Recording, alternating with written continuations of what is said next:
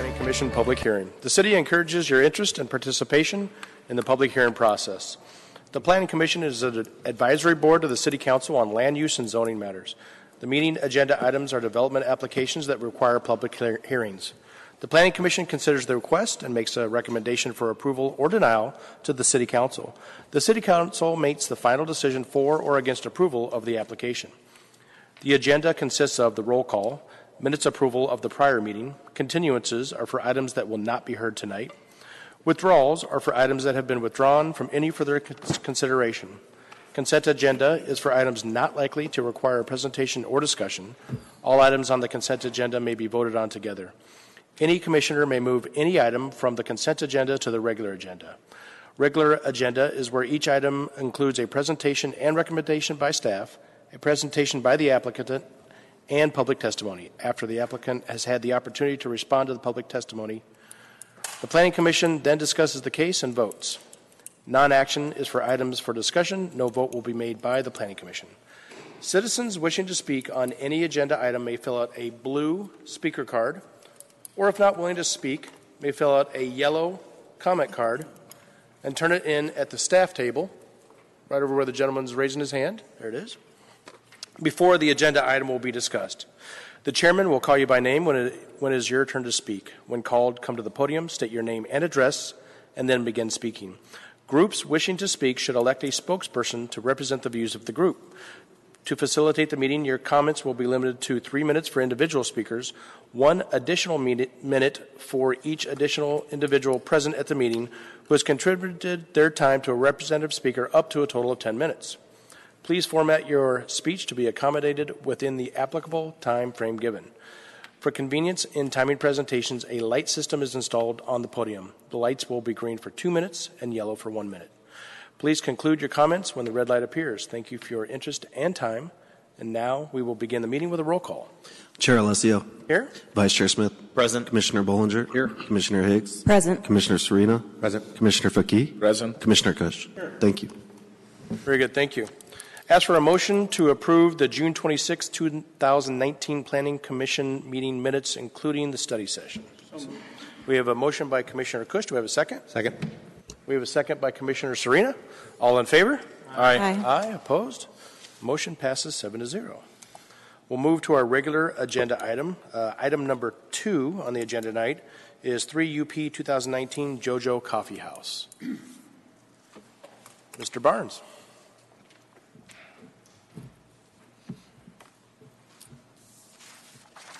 Chair Alessio, uh, members of the Planning Commission, I am Jeff Barnes with the city's Planning Department uh, and presenting to you uh, 3UP 2019, uh, which is uh, JoJo Coffee House's conditional use permit application uh, for live entertainment. The JoJo Coffee House is a tenant space in the Second Street Hub uh, multi-tenant development at the southwest corner of Second Street and Scottsdale Road, uh, identified here on the uh, the large-scale aerial map. Uh, zoomed in uh, a bit, uh, the red highlighted uh, space is generally representing their tenant space at the south end of that development.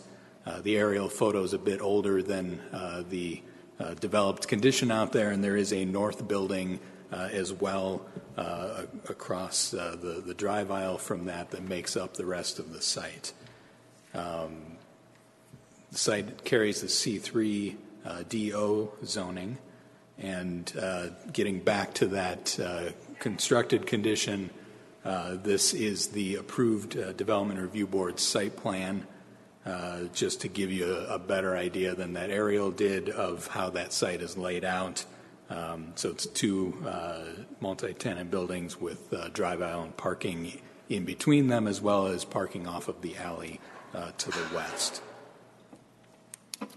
This uh, is a representative floor plan uh, for the uh, JoJo Coffee House tenant space, uh, highlighted uh, central uh, north uh, in the middle of the space is the identified performance area where they are uh, proposing to have coffee house style music performed uh, for the uh, basically ancillary component to their general operations as a restaurant.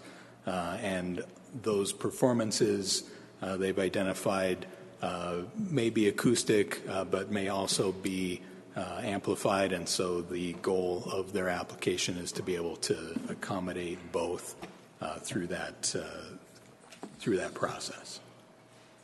Uh, As I've alluded to, but identified here, the request before you today uh, is a request for conditional use permit for live entertainment uh, for the uh, JoJo Coffee House tenant space uh, within the Second Street Hub development with the C3DO uh, zoning at this location. As part of the uh, analysis uh, of the conditional use permit application, there are uh, a few general conditional use permit criterias that have been uh, evaluated uh, and accounted for regarding uh, potential impacts on surrounding businesses, surrounding area, and and those sorts of effects, as well as uh, 12 specific live entertainment uh, use permit criteria that uh, have been evaluated uh, as part of this application. Uh, And with that uh, analysis, staff's presenting before you a recommendation of approval, subject to the stipulations in the staff report for this application, seeing that there does not appear to be a negative impact as a result of what they're asking to do. And that wraps up staff's report. Uh, If you've got uh, any questions specifically, uh, I'm happy to address them. Very good. Thank you, Mr. Barnes. Any of the commissioners have any questions for Mr. Barnes? Commissioner Higgs? Yes, um, thank you for your presentation. Is this uh, coffee house completely enclosed, or is there indoor-outdoor seating? Will people be coming in and out? Uh, Chair Alessio, Commissioner Higgs, uh, this is uh, indoor uh, as their primary. They, they do have a small covered uh, walk space out in front, but the identified operations are to be contained within the building uh, with no outdoor amplification or anything Okay. uh, that would uh, ac- Thank you. Any other commissioners with any comments or questions? I'm just wondering, is there going to be a stipulation not allowing karaoke? Because they shouldn't allow karaoke. Uh, Chair Alessio, Commissioner Kush, uh, I believe we uh, have not identified that, but the applicant can certainly uh, regulate what types of performances they allow. Any other questions, Commissioner Kush? Nope? Okay, good. Um, Thank you, Mr. Barnes. We'll, we'll, That's more of a statement. Clearly. Um, Now we'll have a presentation by the applicant.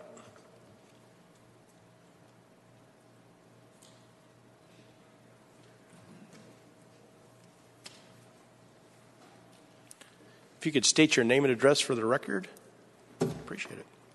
I'm Mike Melton, uh, owner of JoJo Coffee House. And I'm not exactly sure what you're wanting for me to provide right now. Uh, You're welcome to make any type of a presentation on your behalf. Staff does a presentation, and the applicant's um, welcome to make a presentation. If, if you feel good with what staff's presentation was, then that's, that's great. yeah, I think it's pretty straightforward. Very good. Just be playing live coffee house music. Very good. Any questions by any of the commissioners for the applicant? Mr. Commissioner Kush does not have any questions, so thank you very much. We All right, that was easy. Thank you. We do not have any um, requests for any public comments, so with that, I'll ask for a motion by the commissioners. Mr. Chairman, Commissioner Kush. I'd like to move to make a recommendation to City Council for approval of case 3 UP 2019 per the staff recommended stipulations based upon the finding that the conditional use permit criteria have been met. Very good. We have a motion by Commissioner Kush. Do we have a second? I'll second. We have a second by Commissioner Higgs. All in favor? Aye. Aye. Opposed? Congratulations. Motion passes seven to zero. We'll move on to um, item number three on our agenda, uh, 17 UP 2012, number four, Bottled Blonde Scottsdale Rooftop Bar. Mr. Bloomberg. Thank you, Chair Alessio. Commissioners Greg Bloomberg here to give you a brief presentation on the bottled Blonde application 17 UP 2004. The site is located uh, off Indian Plaza, south of Camelback Road on the north side of Indian Plaza. Uh, This is the Maya uh, Club here, W Hotel here. Uh, Eventually, we hope, there will be a Don- a new hotel here on the Don and Charlie site. That's in the works. Close-up aerial of the uh, location. The roof deck essentially would be, I believe, just in this area here. And, yeah, okay.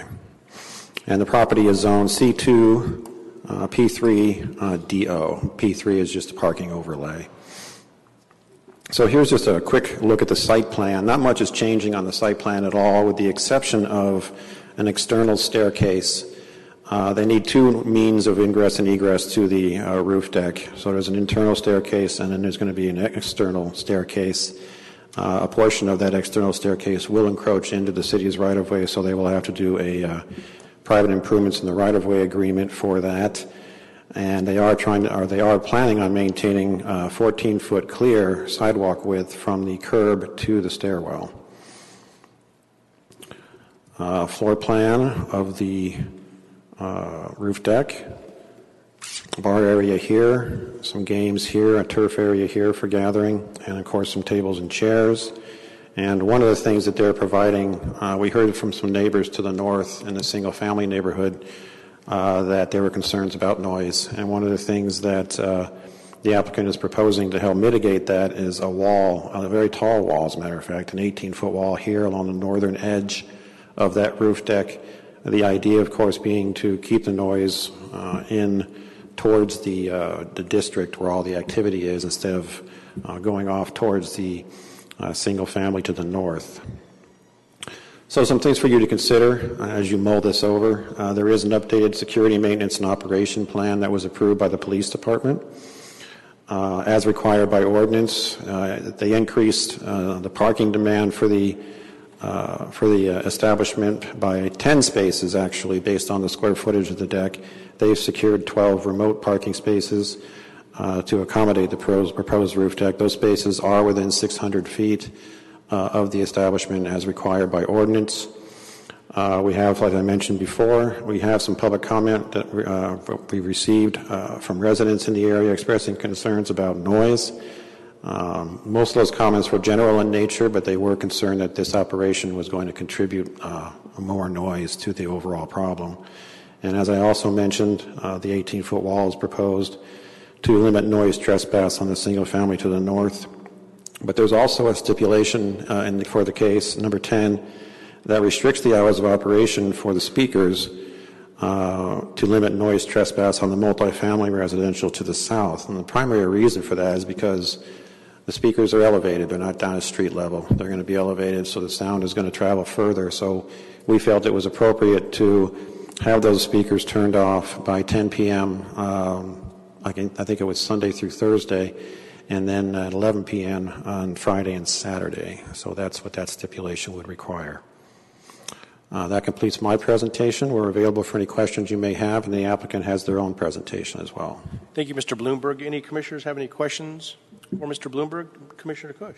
Just one question. Are there any clubs in, we'll call this the club district, okay? Are there any clubs in the club district that have a, uh, a restriction on what time they have to turn their speakers off? That you're aware of? Because all Chair Alessio, Commissioner Kush, the closest one that I can think of is actually not in this area. It's the Social Tap. Um, uh, That's a ways off. It's I'm a talking ways about the off. club I can't think of anything in- anywhere in this area where there's a stipulation like that.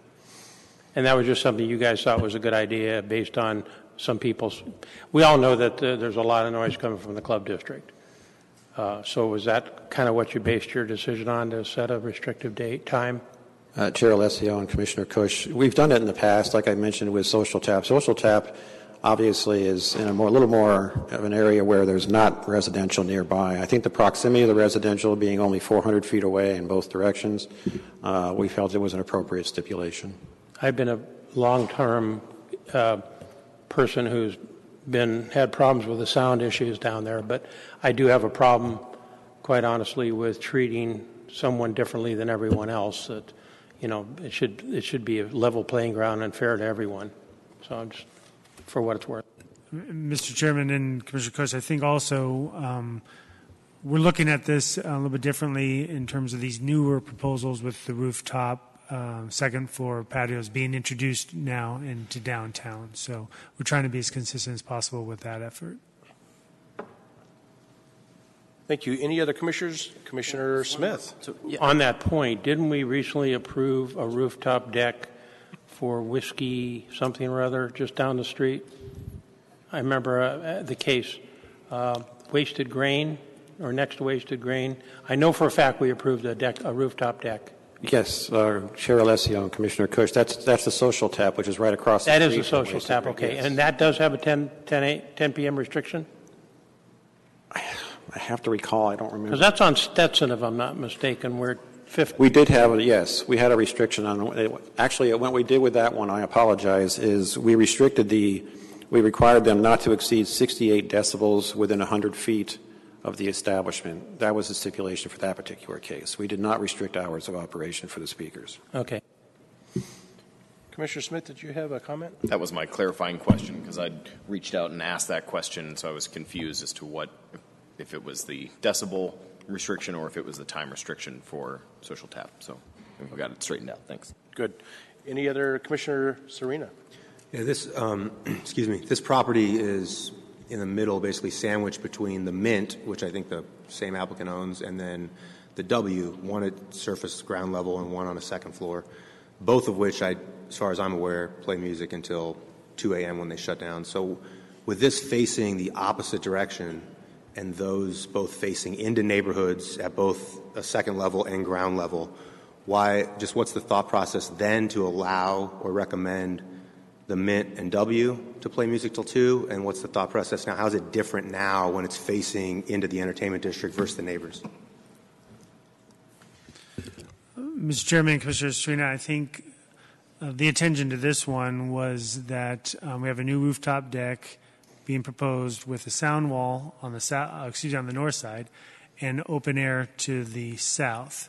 That does face the entertainment district, but it also faces uh, an apartment building just south of the entertainment district. So there was a little bit of sensitivity that we thought was appropriate in our recommendation um, to try to tone that down uh, after uh, late evening hours um, for the benefit of that uh, multifamily residential project to the south. Um, but as a community, we're kind of cutting our teeth on this in terms of trying to find and strike an appropriate balance. But that's the rationale.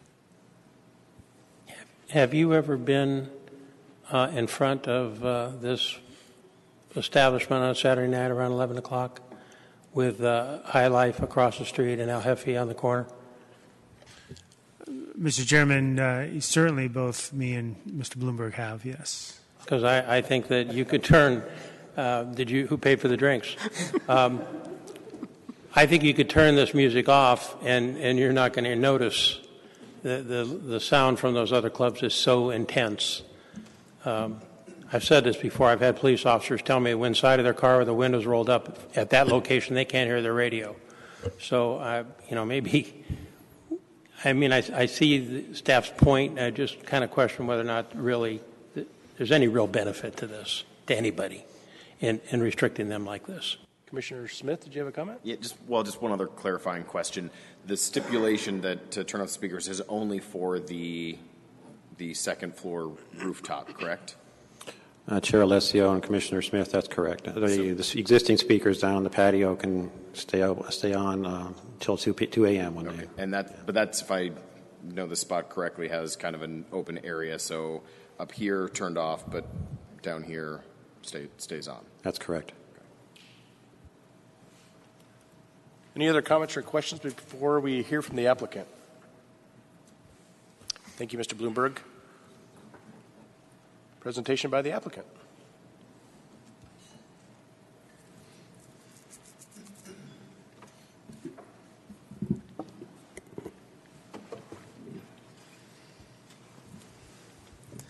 Mr. Chair, members of the Commission, Benjamin Tate with Withey Morris, 2525 East Arizona Biltmore Circle, on behalf of the applicant.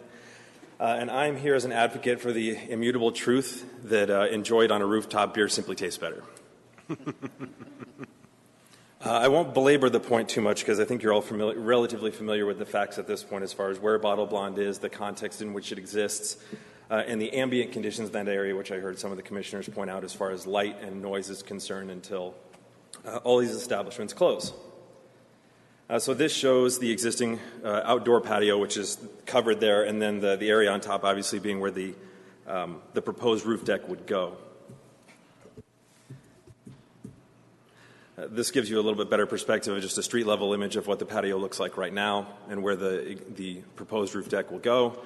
Uh, here's just a, a, colored version of the image that staff showed you earlier that shows you where the bar is on the north side. Uh, behind the bar there to the north is that sound wall. That sound wall is 18 feet tall uh, to protect sound from encroaching too much to the neighborhood to the, to the north on the other side of Camelback Road. Some turf areas for games, and then uh, speakers and, and television. And, and to, to, the Commission's point earlier with, with uh, regard to, uh, or I guess staff's concern about the, the, projection of noise from an elevated position, the speakers up here will actually be angled down. And although sound is not perfectly directional, speakers and lights angled down uh, will mitigate some of that concern.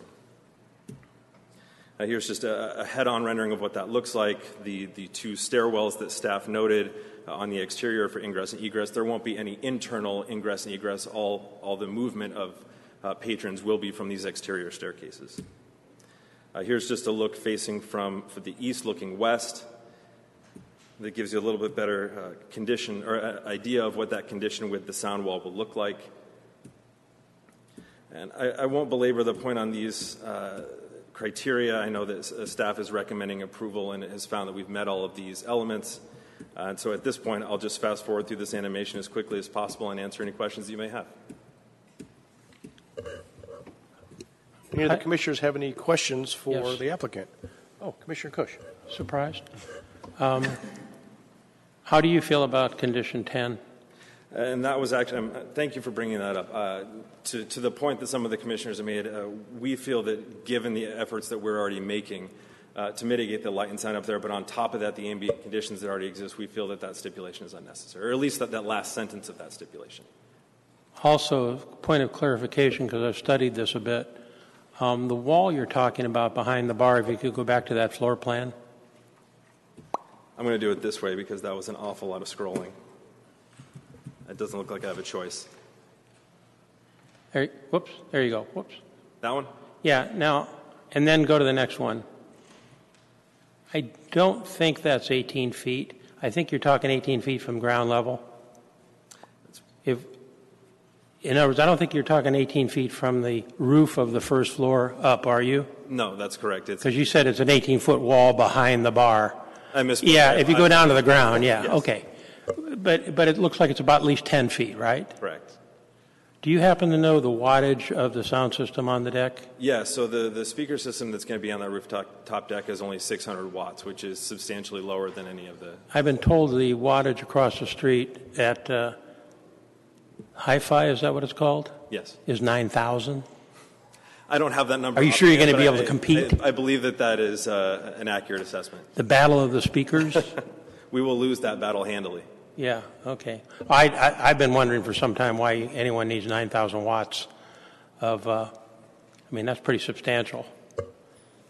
I guess uh, have it and not need it, then need it and not have it. Yeah, well, I, I understand. All right, so you're saying yours is under 800, did you say? 600. 600, all right. Thank you, that's all I have. Commissioner Bollinger. Thank you, Mr. Chairman. Um, explain to me the, the secured parking clause, exactly where that is and how that's done for the benefit of everybody. So the, uh, this is an off-site parking arrangement that the applicant has made uh, with a nearby site that is within 600 feet, which is required by the ordinance. Uh, that they have those spaces available to them uh, to, in, or, in order to meet this parking requirement. That's a contract that they have with an off-site parking location. That's a, that's a lease, a permanent arrangement in perpetuity. I I can answer that, uh, Commissioner, or Chair Alessio, Commissioner Bollinger. They have to do what's called an assurance for remote parking that we are a party to, and the agreement is, is temporary. It's basically for five years, but it can be renewed. Just the question, what happens then? Well, I mean, they're, they're, they're going to need to maintain that assurance, obviously, as long as they're, if they're operating that roof deck. So, I mean, after five years, we will tell them they need to renew it. Understand. I just want to make, put that on the table so everybody understands. We're talking about parking downtown, and it's kind of a relevant thing. Thank you. Any other comments, questions from any of the commissioners? We don't have any, we do not have any public testimony. Thank you. very much.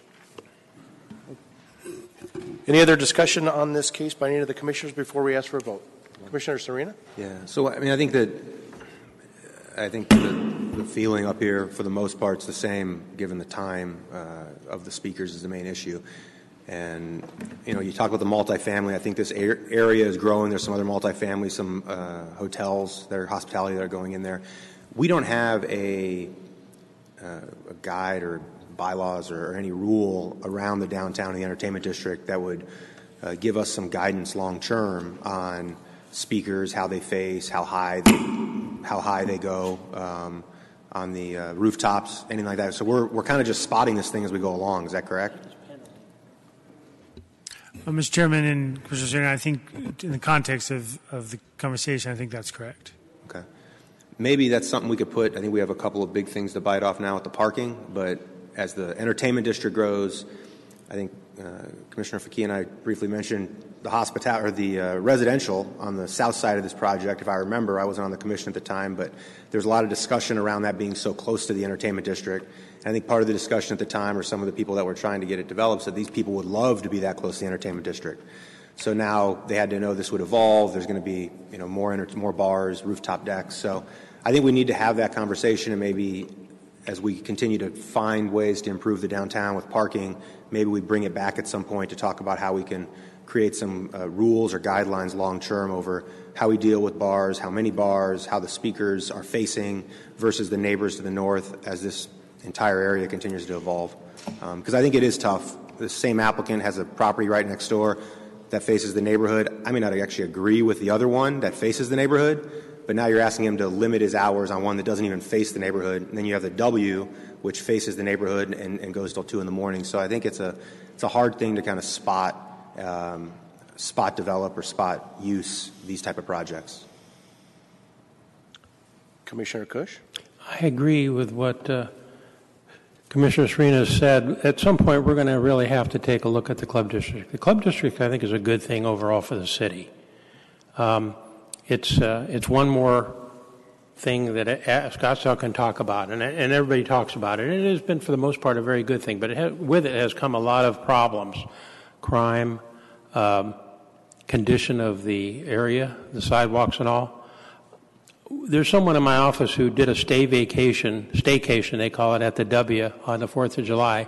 He was actually mailed a letter from the hotel warning him that he's probably not going to enjoy himself at that hotel. Imagine you own a hotel and you have to warn people that the noise is going to upset you. Um, I have it on very good authority that the the the the, um, the flag of that of the W has actually talked about this is that maybe that's not something they want.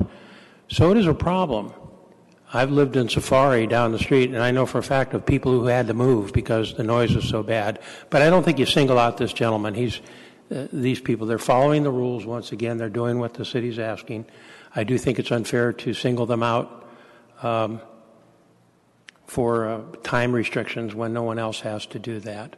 But I agree with you. I really do think at some point we're going to have to kind of take a look at things in general. I, everyone agrees that the sign, the the uh, noise, uh, or whatever you call it, the sound code is not working because it doesn't cover bass, and the bass is the problem. I live two blocks away, and at one in the morning you put your hand on a window and you feel your window vibrating. That's not that's not the decibels. That's the, the bass.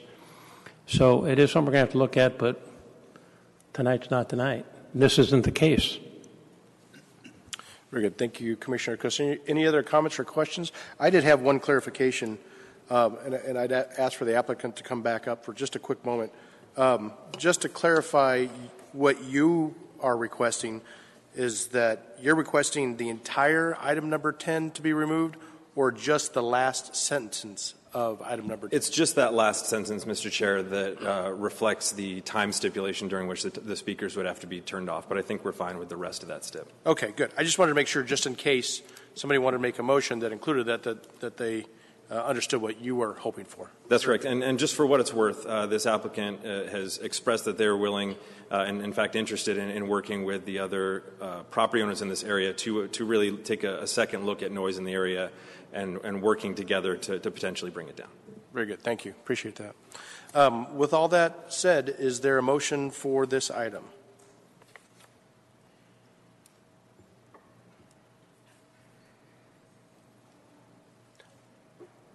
Mr. Chairman. Commissioner Bollinger.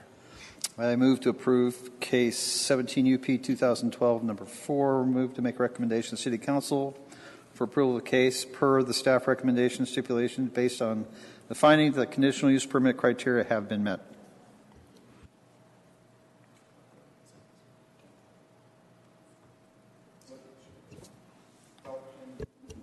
The, the revision to stipulation number 10 that was discussed. So if I understand correctly, your, your motion is to include removing the last sentence of stipulation number 10, which states, "All speakers on the roof deck shall be turned off by 10 PM Sunday through Thursday and 11 PM Friday and Saturday." That's correct. Just want to make sure Mr. Curtis and legal got all that and Yes, we understand the complete motion. Thank you. Okay, very good. Um, So we have a motion by Commissioner Bollinger. Do we have a second? Second. We have a second by Commissioner Serena. All in favor? Aye. Aye. Opposed? No. Motion passes six to one. Commissioner Kush dissenting. Very good. Uh, We will then move to our last item on the agenda, item number four, S- 7ZN 2015, number two, Marquee. We do have one recusal. Um, Commissioner Smith has already removed himself. Good evening, uh, Chair Alessio and members of the Commission. My name is Bryan Cluff. I'm a planner with the city's current planning department, and this is case 7ZN 2015, number two, the Marquee. Uh, and this is a zoning district map amendment request for a new mixed-use building uh, with approximately 250,000 square feet of office and 21,000 square feet of retail in the downtown area. Here's a look at the subject site uh, from the north looking south. Um, you can see it's on Scottsdale Road, highlighted in yellow on the map here at Shoeman Lane, and you can see the Galleria Corporate Center uh, in the background for context. Here's a closer look at the site uh, with uh, the existing shopping center building uh, on the site that's currently vacant and uh, surface parking.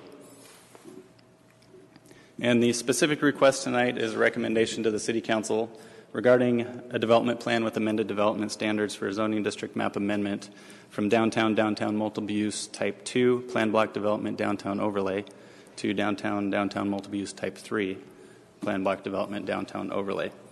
Um, and also with regard to the Planning Commission criteria for a PBD overlay district application. Um, and for reference, there is uh, an existing entitlement on the property um, from case ZN, 7ZN 2015 um, a few years back, uh, which approved a similar development on the property for an office building um, at a height of 90 feet. Here's the existing zoning, the downtown, downtown multiple use type 2, and the proposed zoning. So the only change here is from the type 2 to the type 3 of the downtown, which would allow for the additional building height as proposed at 150 feet. Here's the site in the context of the Old Town future land use map, um, identified within the downtown multiple use area. And then also the site uh, in context of the downtown development types um, shown in type 3. Um, and type 3 of the downtown area does allow for the highest scale and intensity of development in the downtown area. Here's the subject site in the context of the existing Galleria building. Um, so the focus of this application will be on the north side, as shown here. So here's a zoomed in look at the site plan slash landscape plan. Um, the gray grayed out areas here represent the building locations at grade, um, and then you can also see these um, black column locations identified through here. So on Shoeman Lane, there at grade, there is a 20 foot setback provided, and on Scottsdale Road, a 40 foot setback provided at grade, which is consistent with the requirements of the downtown district. Um, and then I'll also note um, you see the column lines out here that extend beyond the building. So above the second floor and above, the building is popping out into that setback. Um, so they are requesting a, a, reduction in the setback on Shoeman Lane and Scottsdale Road um, for those pop outs of the building, um, which which will uh, create a, a, covered arcade over the sidewalk area there. Um, and the, the ground floor adjacent to the streets will include retail spaces to uh, activate the street frontage. Um, and then also shown on this plan is the redesign of the Shoeman Lane um, street section. So currently there's angled parking spaces there. This plan shows a redesign of that to convert those to parallel spaces, um, pushing out the curb to the north on the south side of the street here, um, allowing for a larger building setback zone um, and more amenities. And this is consistent with what was approved by City Council in the, the previous zoning entitlements. And here's a section view of that cross section. So you can see the travel lanes, the parallel spaces here, an area for landscaping, and then um, just under 12 feet of sidewalk area outside the column, and then approximately 8 feet additional sidewalk inside the column adjacent to the building. Here's a rendering of the, the proposed building design, a view from the northwest. Um, and and you, could, you can note that um, obviously we're not t- talking about materials here, mainly just uh, massing and the development standards. So as the design progresses, uh, materials could change moving through. Um, so you can see at the ground floor plane here the pedestrian access or walkways that will be adjacent to the, the retail spaces.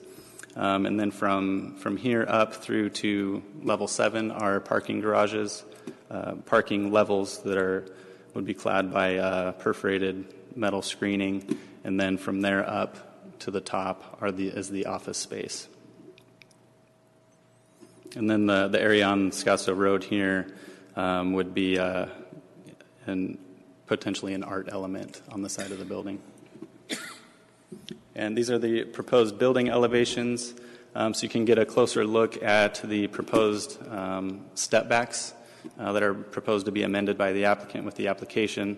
So the blue dash line here indicates what the standard uh, building step back requirement would be in the downtown. So this is the Scottsdale Road frontage here. So you can see at grade the 40 foot building setback provided, um, and then level two and up, you can see where it starts to pop out into that area. And then um, at certain levels, here you step back 15 feet, and then at this level, um, steps back another 8 feet, um, and then an additional step back at the top level there. Um, and then looking at the east elevation, you can see the, the massing on Shoeman um, compared to the ordinance requirements that are typical. And then this is the south elevation and the west elevation, um, which are similar from the different angle. Um, and then I'll briefly go through the Planning Commission criteria uh, for a plan block development. The first one is that the proposed development supports the land use elements of the general plan and the downtown plan. Um, so the general plan designates it as mixed use neighborhoods, and the downtown plan is downtown multiple use, which we saw on the map previously. Um, so the proposed Class A office and retail in a mixed use format uh, is consistent with these land use elements. The second criteria is criteria to add land uses um, to the existing allowances in the downtown. Um, they're not proposing any additional land uses here, so this criteria is not applicable. And then the third criteria is that the development plan reflects noteworthy investments to provide public benefits um, in the area of the project. So here's a summary of the proposed public benefits um, for the bonus floor area ratio that they're asking for, in a, uh, along with the building height. Um, the bonus payment totals approximately $2.1 million that will be contributed, and this is the breakout of how those funds will be allocated. Um, so the first two columns here are the um, actual improvements for Shoeman Lane for that revised cross section. Um, and then the remainder, 1.7 million, would be an in lieu payment uh, into the downtown special, special improvement trust fund for the city to um, use in the future for projects in the area. And then the project went before the Development Review Board for recommendation on June 20th. Um, so I'm just going to briefly go through uh, the staff's recommendation uh, to the Development Review Board. We had presented options which suggested additional building setbacks um, and, sorry, building stepbacks, not setbacks, um, to better align with the massing recommendations of the urban design and architectural guidelines. So I'm going to br- briefly go through what the staff recommendation was and um, what the, the result of that meeting was after discussion. So based on the, those guidelines, staff had recommended some additional building step back uh, for the upper levels along Shoeman. Um, so starting here, which I think is level eight or nine of the building, uh, would be an additional 33 foot step back at that point. And these are measured from the curb line at Shoeman. So it would be stepped back 33 feet from the curb, and then uh, a 42 foot step back for just the upper level here. And then this is the north elevation, so you can, you can see here the areas that would be stepped back the 33 feet here, and then the 42 feet here. Um, and then also to take a look at Scottsdale Road, um, this red line here uh, identifies a 15 foot offset from what the typical ordinance requirement would be, which is a standard exception that we have in the downtown district. So staff had recommended that um, they, they, keep the building within that 15 foot encroachment area. Um, so that would pull back a section of the building here that encroaches and then a couple points there. Um, a second option that staff presented was uh, an option with lesser setback. Um, so this shows the Shoeman. Um, so it would only be a 33 foot setback from Shoeman Lane for the upper two levels. So that's shown there. Um, and then Scottsdale Road would be the same, with the exception of this pop out here, pulling that back to the 15 feet. And then the third option um, presented to the board would be just as proposed by the applicant, um, which is what you're seeing currently today. Um, so that's the Shoeman Lane and then the Scottsdale Road look again there. So after um, after discussion, the Development Review Board uh, recommended approval unanimously um, with this lap, last option, which was the, the as proposed by the applicant. Um, public outreach to date, the applicant did have an open house July 23rd, 2018. Um, applicant and city sent out notifications to a 750 foot radius of the site, along with our standard newspaper and site postings, internet subscriptions, and social media. Um, there hasn't been a whole lot of public comment received. Um, there was a little bit received early on from a, a nearby property owner who uh, owned an office building there. Um, there's correspondence from him uh, in your staff report. And then I believe we, we received today two other email correspondence with regard to the project, and that's all we've received to date.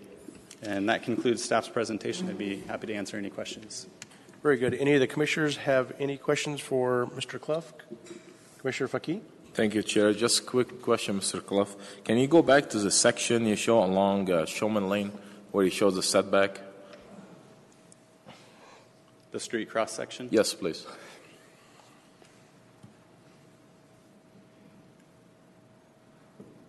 Yes, this. Yeah, the one after this one. Where where is the right of way here? Where is the city property? The the right of way line. It comes right into here, almost. So the building right is almost at the right of way line. Correct. Okay. So and when it come into this section here, and obviously you know, I will talk more about the pedestrian connection, but how do you compare this section to what we have like currently at Scottsdale Quarter, for example? So you look into, you have some massing building, yeah, it go up to 90 feet, but sometimes you don't feel the height, right? But I mean, how does this 26 feet here compare to what we have currently on Scottsdale Quarter? Do you, do you know the answer? Uh, Chair Alessio, Commissioner Fakih, are you talking about the frontage adjacent to Scottsdale Road no, or interior? Interior. Streets? I'm talking about the interior. So, I mean, kind of like private street we have over there. Yeah, th- this would actually be very comparable to what's in Scottsdale Quarter. The, there, there are a lot of ranging sidewalk widths in there from, um, we try to keep it to at least eight feet where there's patios encroaching into the sidewalk at Scottsdale Quarter. Um, but there's some areas that come out to closer to 15 to 20 feet. But I would say the condition that's shown here is um, pretty comparable to what's in Scottsdale Quarter. Okay, so going back to this question where the property line is at the building, I've seen in the site plans there is a lot of activity at the corner of the building, like table, you know, more connectivity. So those will be in the public area then. It's going to be in the city land, it seems like, if we're going to do this. Yeah, Chair Alessio, Commissioner Fakih, um, there are stipulations in the uh, staff report that talk about limitations for encroachments, uh, specifically for patios. So they would be able to have patios in this area here under the arcade, um, but they're stipulated to leave this area clear outside of the column. Okay. Uh, the other question, if you go back to the $2.1 million, you know, chart,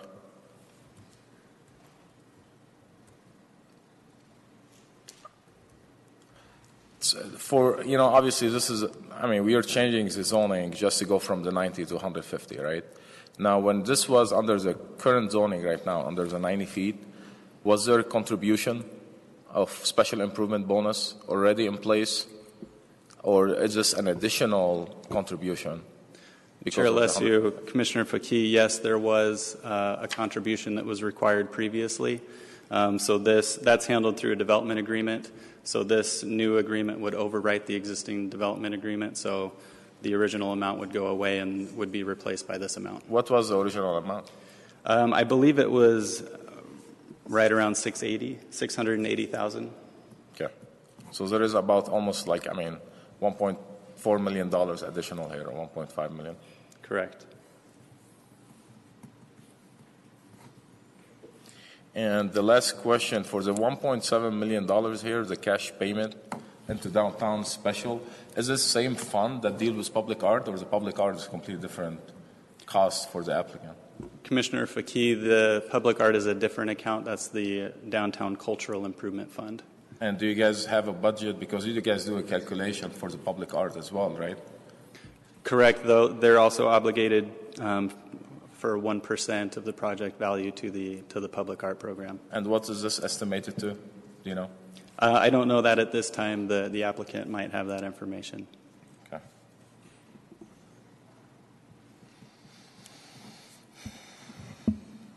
Okay.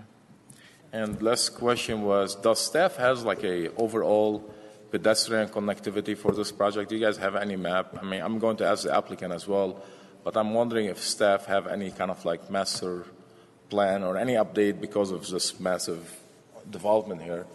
Is there anything will change the pedestrian connectivity at this intersection or?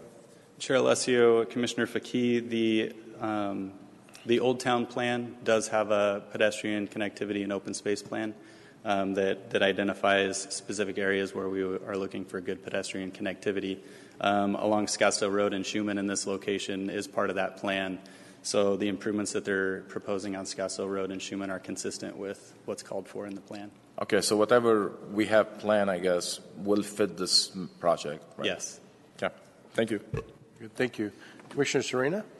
Yeah, similar to uh, Commissioner Fakih's questions, the pop out on Scottsdale Road, um, how far does that go to the property line as well?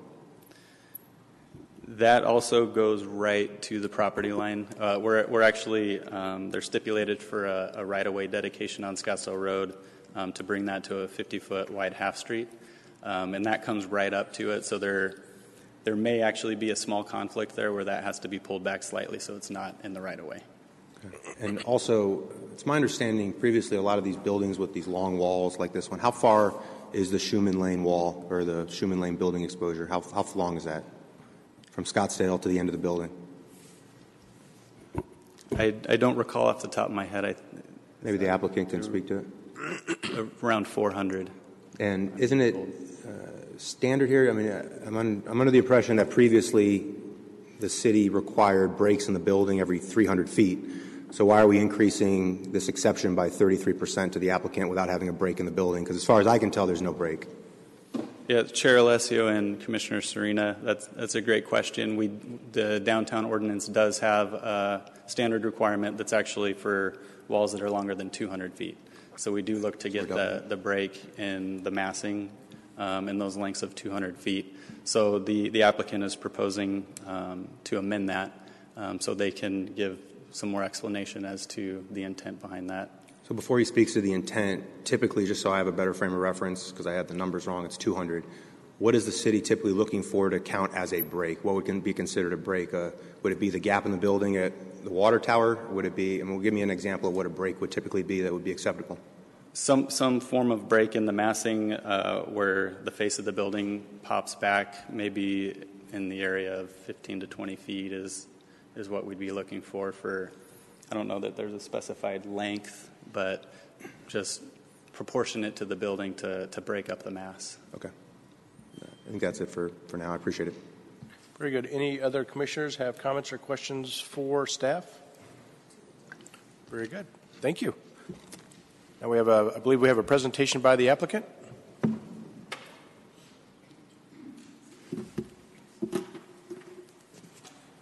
Mr. Chair, good evening. Uh, Jason Morris on behalf of the applicant. Thank you, and thank you for the, the initial questions. I'll try and cover some of the initial questions that were asked by the commissioners in the context of the overall uh, presentation, and also try and cover uh, some of the issues raised by staff. This is, to some degree, uh, Mr. Chair and Commissioners, this is a, a, little bit of a redo. It's unusual that we're coming back so soon on a site that was just recently rezoned. Uh, really, what's driving that is two factors. One, the City Council changed the overlay for this area, as we'll, we'll get into that in a little bit more detail. But really, what's driving this is the fact that the City Council, and their wisdom in looking at what the downtown core should look like, amended heights uh, amending this area to 150 feet. Our previous approval was at 90 feet with six foot of overage, so we were just under 100 feet total, and we're asking for the 150 feet uh, at this point with this application. What that allows is that allows a parking solution, and I know we're going to talk at parking uh, very likely as part of this application, but that really allowed a parking solution to come above ground uh, and be structured and wrapped as part of this building in, in a podium context, and then keep the square footage of the office and play off of the success of the Galleria as a corporate center. Uh, so as we look at the overall increase in office space, it, it's going from uh, roughly 190 square feet, 192,000 square feet to 250,000 square feet. So it's not a, a massive increase in the office, but it does make the building itself viable by having this additional height. It also, as we'll see from the application and the presentation, it keeps it consistent with other heights that are existing and proposed in this area. Uh, the site, as you're aware, is at Scottsdale and Shoeman. Uh, what you can take away from this exhibit as you look at the other sites around us is there are existing height, either existing or proposed height in this area, and we're sort of in the bullseye or the, the circle of the donut for the areas of height in this part of the Type 3 uh, for the city. You know, eventually I'll figure this out, Mr. Chair. There we go. This area in red, it reflects the Type 3 uh, that is approved by City Council, meaning the highest intensity of heights in this area. Uh, as we go a little bit further, we look at some of the building heights that surround us to put into context what we are proposing and why we're proposing it and why staff is recommending support of that proposal and, and why DRB also recommended support. Um, in addition to the, the type 3, it's also an area that includes downtown multiple use. So the downtown multiple use is the green area. As we look at what the documents say and the direction we're given, downtown multiple use type should incorporate vertically mixed land uses exactly as we're proposing. Um, as we delve a little bit deeper into that, we see type 3 development. In the definition of the type 3 development, it talks about where the highest scale type 3 development should occur. And in this instance, it gives our intersection east and west of the intersection of Scottsdale Road and Drinkwater Boulevard. So we are following what we believe is the blueprint for this area. Uh, the site itself is two and a half acres. Uh, it is the same development concept, uh, meaning the same footprint by and large as what was approved in 2016, the, the 250,000 square feet. It includes 21,000 square feet of ground level retail. And, and I want to point that out because actually in this development scheme, because we're able to take that parking and put it in a structured concept, the retail at the ground level, the pedestrian experience is actually much better because previously we were forced to wrap the ground level parking with retail and it didn't give us the proper depths for good restaurant space and retail. So you'll see it's a, a better experience. Um, the development standards. We were requesting amended development standards, and we did that last month in front of the DRB for our first public hearing. What we pointed out to the DRB is we are requesting the same amended development standards that were approved in 2016. We are not asking for anything uh, in addition, and this is what was already contemplated for the site largely because of how difficult this site is in its shape. Uh, we've already discussed the $2 million in payments. I, I, will point out, Mr. Chair and Commissioners, that does not include, as Commissioner Fakih mentioned, the additional money for the arts, which is a 1% on a $50 million building. So we're talking about another $500,000 on top of that. There is also an additional number for uh, in lieu parking uh, for some street parking that is being altered. So there's a, and that's a roughly quarter of a million dollar number. So those are all before the construction costs. As we look at the site, I alluded to this, it is a challenging site. It has an existing building on it, but it is a long and narrow parcel. When you're developing an office building, and again, the concept is to build off of the success of the office users who have come into the corporate center and now want to expand or want to join the existing users in this area. In doing so, developing with that width has become a challenge, which is the reason we've asked for the amended development standards and largely drives the design of the building. I noted that it has retail and restaurant at the ground level. This is a, an upgrade and an improvement over the original design because we are able to have those depths at this level and a better experience.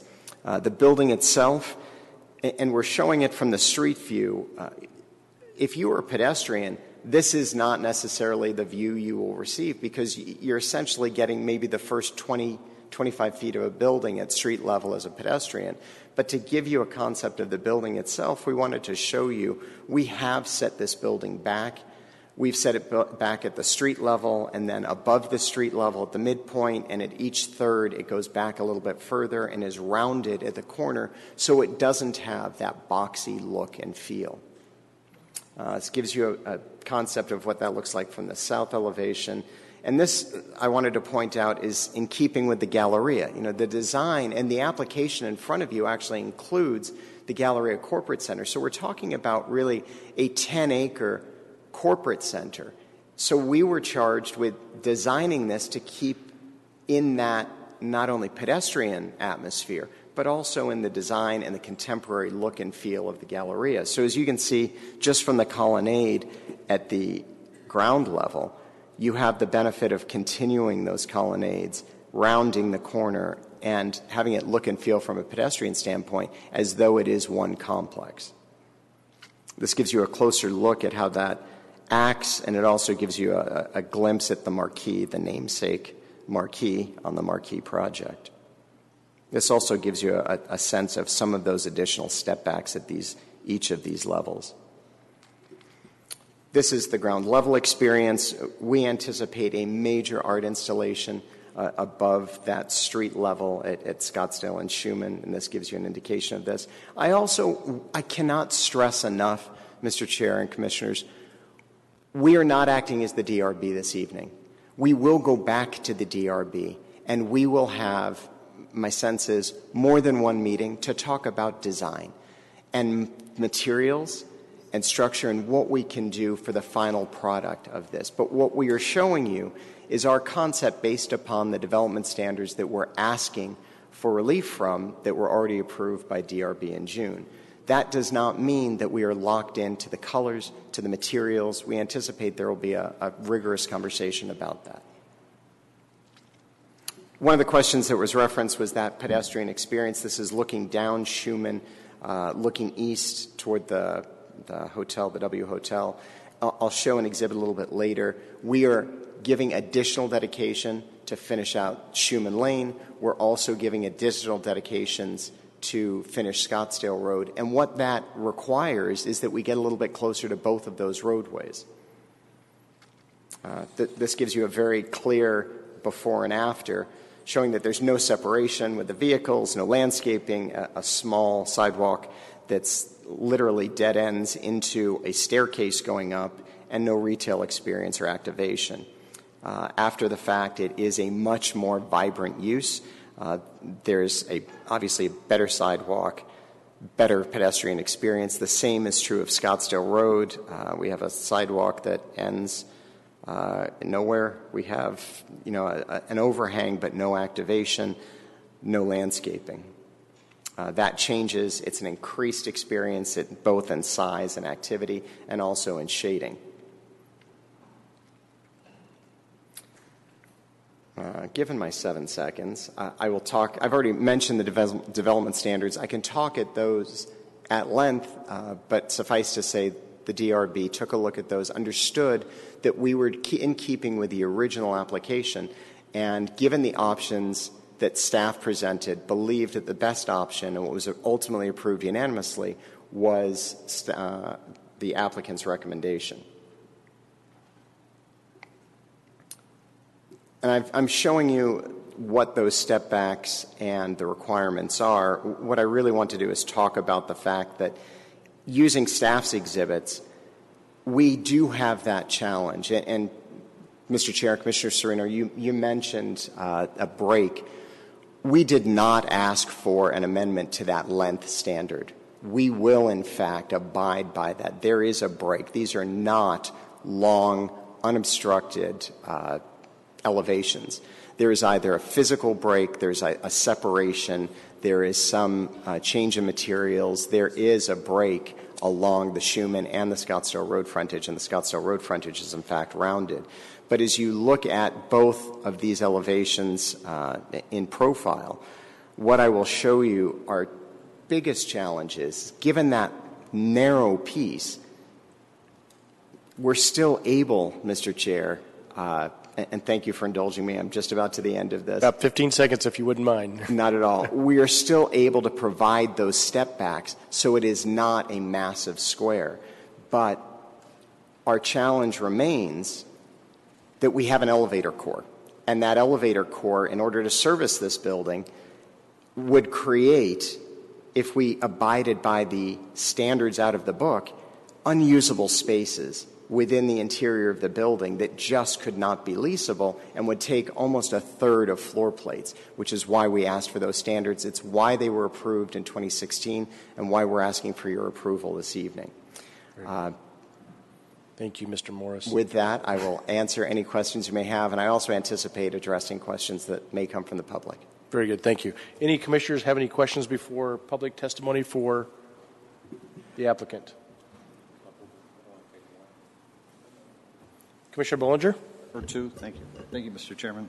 Mr. Morris, um, you mentioned the Galleria is part of this application. It, it, is it part of the application, or is it just intended to be kind of a um, transition? I'm not sure what, what the. What, are, we look, are we looking at that south side as a whole, where if you talk about step backs, the Galleria adds quite a bit of step back?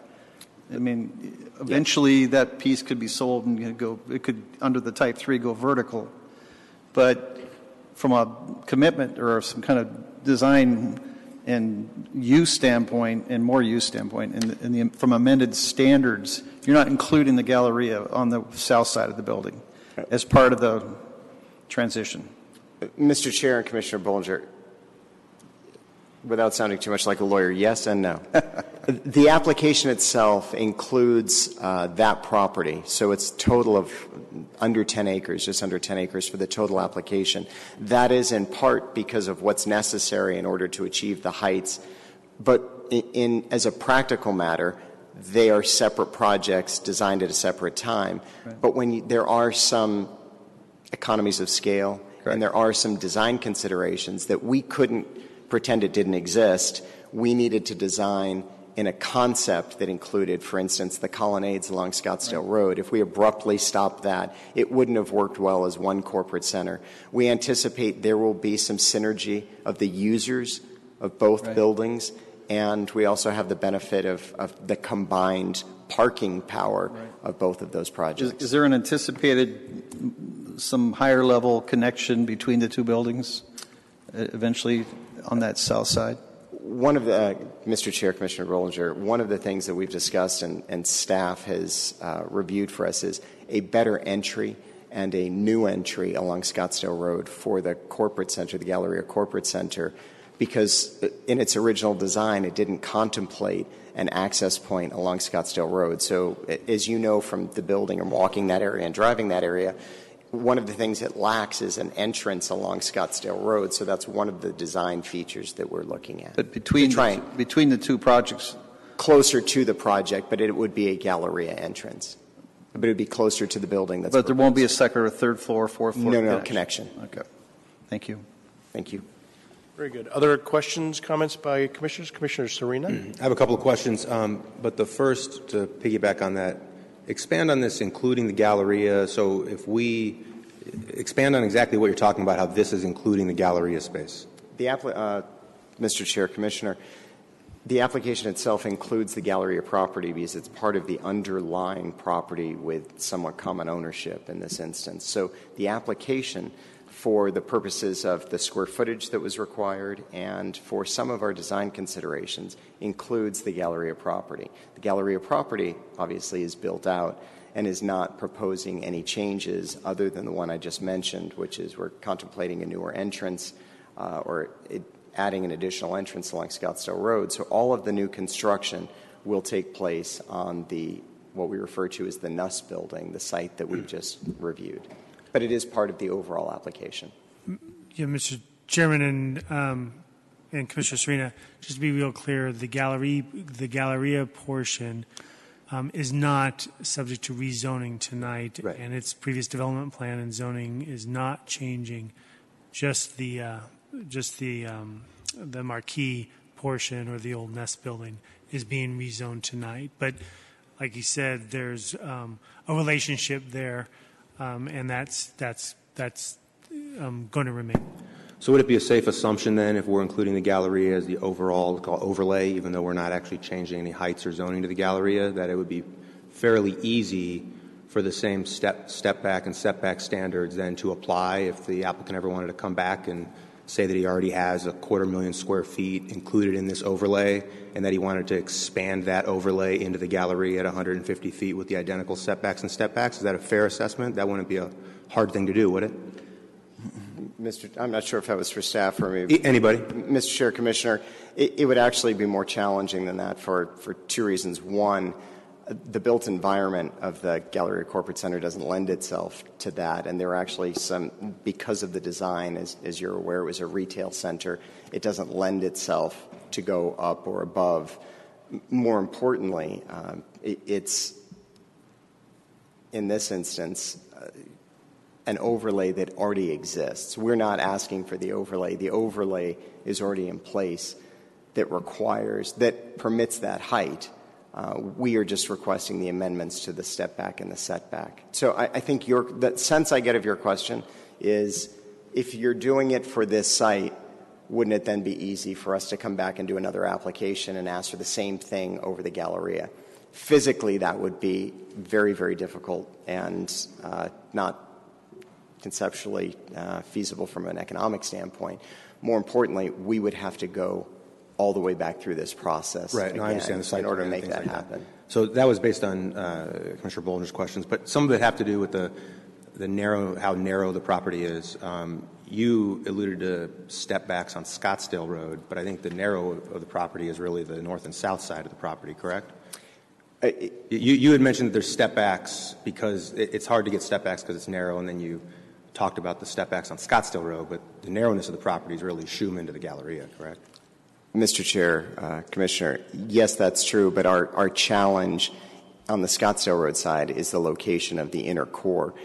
It, as you see from the step backs and the setbacks, I, I had to rush through it unfortunately toward the end, but the step backs and setbacks would do two things along Scottsdale Road that are very important. One, it would make the western portion of our floor plates almost unusable because of that, if you went by the letter of that ordinance on this site. Secondly, it would cut into the parking. Uh, you would lose a row of parking all the way up through four levels of parking, so it would be a significant hit to the parking structure as well. And how were you- That's why I referenced the Scottsdale Road site. How are you covering that uh, under the previous, under the 2015, you had those out, but when the property was acquired originally, it was still intended to be a commercial use, correct? Yeah. And, and without this 150 feet, where would the parking have gone if you had built under the 2015 approval? Mr. Chair, Commissioner, under the 2015 case, the 2016 approval, we asked for precisely the same standards. So we, we had amended, our approval included the same standards and the same uh, deviation from those standards and was approved by council with those deviations. The difference being, in 2016, there were two or three levels below grade, so it wouldn't have impacted those parking spaces. So you would have had, what, they said 190,000 feet at that time, ballpark it? Correct. Is that correct? And how many parking stalls did that require at that time? I don't have that number off the top of my head, but we were we were parked at or above code. And Uh, how, and how many floors above grade were you parking at that time? It was parked uh, below at grade, so there was a parking level at grade, and then I believe one level above, two levels above. I'm getting Okay. stage cues. And two so, levels above. ballpark, I'm not in the business, how much is a parking stall difference between below grade and above grade? Mr. Chair, Commissioner, an excellent question and gets to the, the heart of this. Uh, a, below grade space in this instance, because we were just talking about this yet today, the difference is a, a 20,000 plus or minus above grade and closer to the high 30,000 per stall below grade. So there's only a $10,000 difference? Because I've been told the difference could be as About a $17,000 difference. So the, the low 20s to the high uh, 30s. Okay. So at 900 stalls, let's cut it in half. I mean, you're, you're talking about the savings by doing this project. If we're getting the same, you're getting a 25% increase in square footage of the office, ballpark it. We went from 200 to 250. But ultimately, the developer now is going to save close to $20 million by not going below grade and parking all of his parking above grade with this 150 feet versus the existing. Is that a fair assessment? Uh, I think there's a, a significant savings. I'm sure your numbers are ballpark. I'm t- back of the napkin here. Yeah. Okay. So what is the? So I think the intent when we went from to Type Three was that the city receive a significant benefit for this 150 feet. It wasn't just that arbitrarily the entire area of the Type Three goes to 150. Aside from an additional 50,000 feet of office and some uh, surface level or ground level retail, is there a do you feel that where's the where's the value I guess from staff's perspective maybe that's a question for staff that the city is picking up a significant value add by approving this project since the developer now is going to just build at, at grade or above and not go below grade given his savings at 20 million where's the city picking up a similar value aside from $2 million in added development fees Mr. Chair, I'm, I'm happy to. Uh, typically, Commissioner, I don't know that staff opines on value. Uh, I think staff typically has limited themselves to looking at what the appropriate planning is for this in, so in what, light so of what the would- plan. So what would be then the benefit for, because we're talking about a significant increase, right? I mean, I understand it, you're, you're allowed 150, but you're not just asking for 150. You're asking for no step back on Shoeman. You're asking for, it's argue, you can argue it, but virtually no step back on Scottsdale. Very, very amended standards, we'll call it. No step back, as far as I can tell, facing east. You're not building any below surface parking, so now the development, uh, the perform on it's going to increase by $20 million to the developer. And at this point, I see an additional square footage. We haven't got into the parking issues. I'm just talking dollar, you know, dollars and cents. I think our responsibility is a fiduciary responsibility to the citizens. Yours is to your client, and I appreciate that. But if I sit here as my fiduciary responsibility to the city, I need to see a significant increased value to the city to for me to have the support to get this thing to 150 given how much the developer is asking for out of the city. Sure. And Mr. Chair, Commissioner, Uh, I think I'd start my response to that by saying you have a duty as a planning commissioner to look at the planning of a property, to look at the land use. Um, because Scottsdale has a separate DRB, I think you have certainly the right to comment on DRB issues as they would arise. Um, I'm not doing that, am I? Right. No, no, no. But I, I, I think what I'm getting to is one of the things I would say isn't your purview is to figure out how much a developer may be saving and what the economics of a project are. I think that's certainly something you would do on council, and they look at that bigger scope and scale. I think from a planning commission perspective, it's unusual to look at our pro forma. That being said, uh, it's also easy to look at just the numbers of a parking structure and say, you've saved X number of dollars, what are we getting for it? There are also increased costs. Uh, there are increased costs involved in the height of the building. There are increased costs. The, the city of Scottsdale actually made significant changes to their buy-in program. So you saw the number, the difference between $685,000 and over $2 million just in the buy-in for height or density, FAR. That was a significant change. In terms of the experience for a Scottsdale citizen, it is a better project. So let's talk about the citizen side of that. The citizen side is the city is getting valuable square footage in dedications to finish Scottsdale Road that they do not have, and the only other way they could get it would be to purchase that from this property owner. They're doing the same thing on, on uh, Shoeman Lane, so they are getting valuable work. The applicant has also agreed to complete Shoeman Lane to do a, a complete redo on both sides that they're not obligated to do that comes as part of this program. How much does the applicant own of the other side of Shoeman Lane? Uh, none. On a lot of portion, on a large portion of it, it is not their building. Uh, there's a separate office building. We're literally doing work on right of way that's not adjacent to our property. Again, unusual to go through such a uh, economic analysis of a planning project at this stage. But I'll also point out that in addition to the citizens' experience in terms of being able to create a better right of way, a completed street, a sidewalk experience that's covered, and all of the things we went through in the actual uh, presentation itself. It's also worth noting that, it, again, something I would discuss with City Council, Uh, not necessarily a Planning Commission argument, but if you are looking at the value to the city and what the gain is, we are providing office opportunities in an area that is lacking those office opportunities. We are allowing existing businesses to expand within the city of Scottsdale that want to stay in this downtown core. And we are also creating an attractive environment for businesses that are not here today to locate within this area. And for every employee we bring in, it is a multiple effect to the city of Scottsdale. Now, we can also talk about the percent to the arts. We can talk about what it does for economic development. We can talk about what it does from a citizen pedestrian experience. We can talk about what we've done from a circulation and traffic experience. Really, the focus of my presentation today for this board has been from a planning perspective, and, and I want to circle back to some of the comments you made about we're not getting step backs on Shoeman, we're not getting setbacks on Scottsdale. You actually are. Can you You're show getting, those? sure. In the wrong direction.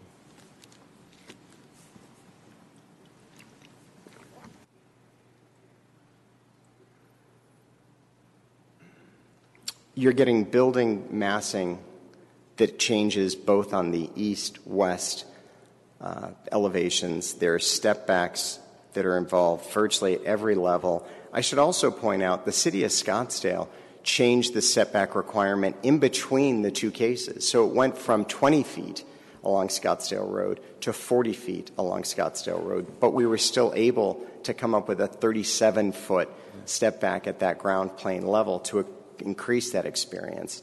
Uh, as we go back a little bit further, you can tell what we've done along Scottsdale So, Road. uh, Mr. Moore, I just want to make sure, I know we can, there's a lot of topics here, I know we want to, we're going to jump around a lot, but you specifically said step back on Shoeman, so I just want to address Shoeman right now, then we can come back to the Scottsdale piece. I'm So sorry, you, you had Mr. mentioned that you have I- a step back on Shoeman Lane, so that's what I'm looking at. My mistake. I thought you wanted to see Scottsdale Road as No, well. you had mentioned Shoeman. I had. Let's see, am I going the right direction? No, I'll use this example. Oh, there's a better exhibit from the Shoeman Lane.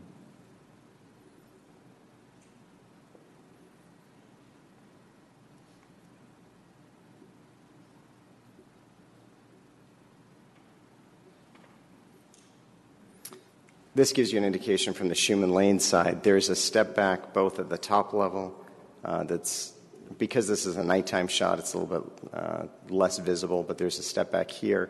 There's a step back at this level. There's a break in the middle of the building and an atrium in the middle of the building, and there's a step back above the pedestrian level you- along Shoeman Lane.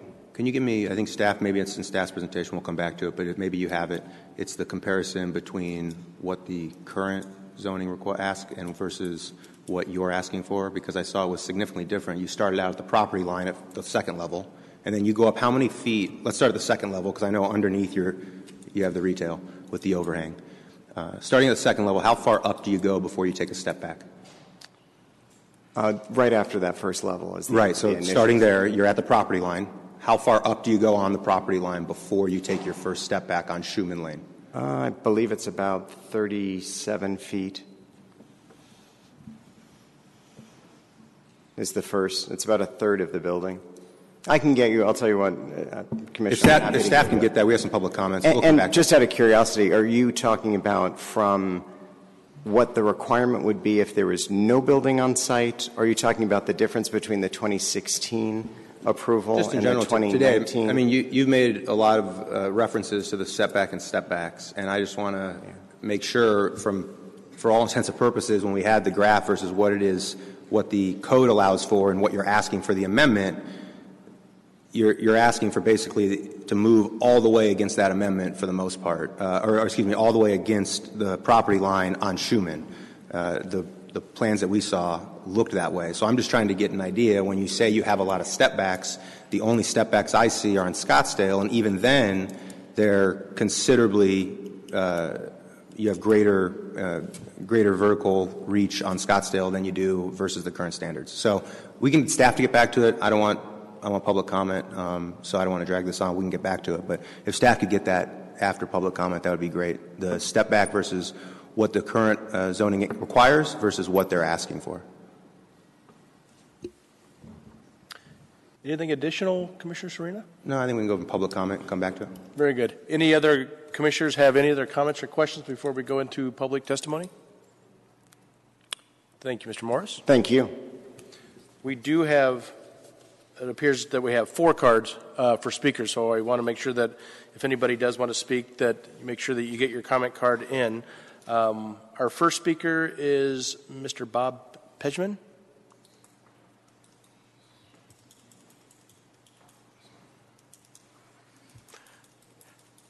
If you could state your name and address for the record, and you'll, you'll have three minutes. Absolutely. Uh, how you doing, uh, Chairman Alessio and uh, Commissioner members? I'm Bob Pejman, owner of Pejman Gallery, located on 7130 East Main Street. And um, I would say that any large office building or apartment building will have parking overflow. And the reason it happens is because, let's say you're driving to this building and uh, you don't necessarily going to go park on the onsite, you'll park on the street. And sometimes the public parking is, uh, the, the, the onsite parking is full, forces you on site. And then I'm not sure if the parking here is paid or not. If it's paid, it's definitely going to push people towards um, the street parking, which I'm not sure. And it's for this exact reason that a lot of times the city, with a big project like this, they actually increase, or they make an attempt to increase the street parking spaces. That's not the case in this plan, because they're in fact reducing the inventory of the street parking spaces. So on page seven, it's stated that city is reducing the current 44 angled street parking spaces to 26 parallel spots. So they're removing 18 scarce street parking spaces. And What are we getting in exchange? The city is getting $248,000 for this exchange. So, what's the message here? Pay dollars and we'll remove parking spaces from the street. That's one message. The other message is parking space on the streets for sale if you want to pay for it. But the question is, what does the city do with the dollars that they get? In this case, the $248,000. And the purpose is for them to build public parking spaces in the vicinity. But usually this doesn't happen. This money goes into the in lieu fund, and then later on we don't know where they build the parking space. There could be someplace else that doesn't record that doesn't address this. Example of this, the parking situation in the Arts District. Since the 1970s, there are parking credits sold in the Arts District, but today we can't even point to the parking structures that were built with these spaces. So I'm saying that the same thing will happen here in this location. City is just saying, hey, you know what? Let's remove spaces and all that. Let's not care about overflow. And you're building yourself into a bad situation down the road. Now, COGS, Coalition of Greater Scottsdale, about two months ago, put a request from some high-level uh, senior people in, uh, on staff to ask them for an accounting of parking credits that were sold since the 1970s and what they were used for. Two months later, there's no response. I don't think that they want to come forth with the response. And I think the Planning Commission should ask or direct staff, whoever they may be, to do an accounting of, since this inception, how many parking credits were sold, to who, and what did they build with that? Once we have all the data, at least we can figure out what went on. Okay? So, the other interesting part the city is basically selling these valuable street level spaces for 13,000 bucks a piece. But how much does it cost to replicate them somewhere else? Underground, big number, 50,000. Above ground, I don't know, 20, 30. But let's not forget about the land cost. Mr. So that, if, you, pretty, if, you, could just wrap up here. That's pretty bad math. And um, there's, there's poor planning on the staff's part, and we're digging ourselves deeper and deeper into this parking hole. Thank you. Thank you, sir. Appreciate it. Uh, next speaker is Andrea Alley.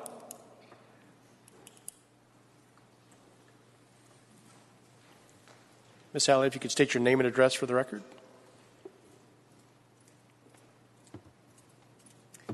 Thank you, Chair Alessio, and the rest of the commissioners for hearing us today. My name is Andrea Alley. My address is 6828 East Almeria Road in Scottsdale. Uh, Bob covered most of the uh, parking issues, so I second a lot of what he said, um, but I do have a couple of things to add regarding this. Um, will the owner charge employees of this project for parking as they have with the Galleria? That's caused a lot of uh, employees to park elsewhere in Old Town where it's free. Um, will the city work with the developer to give the public free access to this parking in off hours or increase the number of parking spaces required for this project? Or will the city continue to allow developers to continue to place the burden on the public and merchants to accommodate their tenants' parking? This property does sit in an opportunity zone. Um, every new development in Old Town will.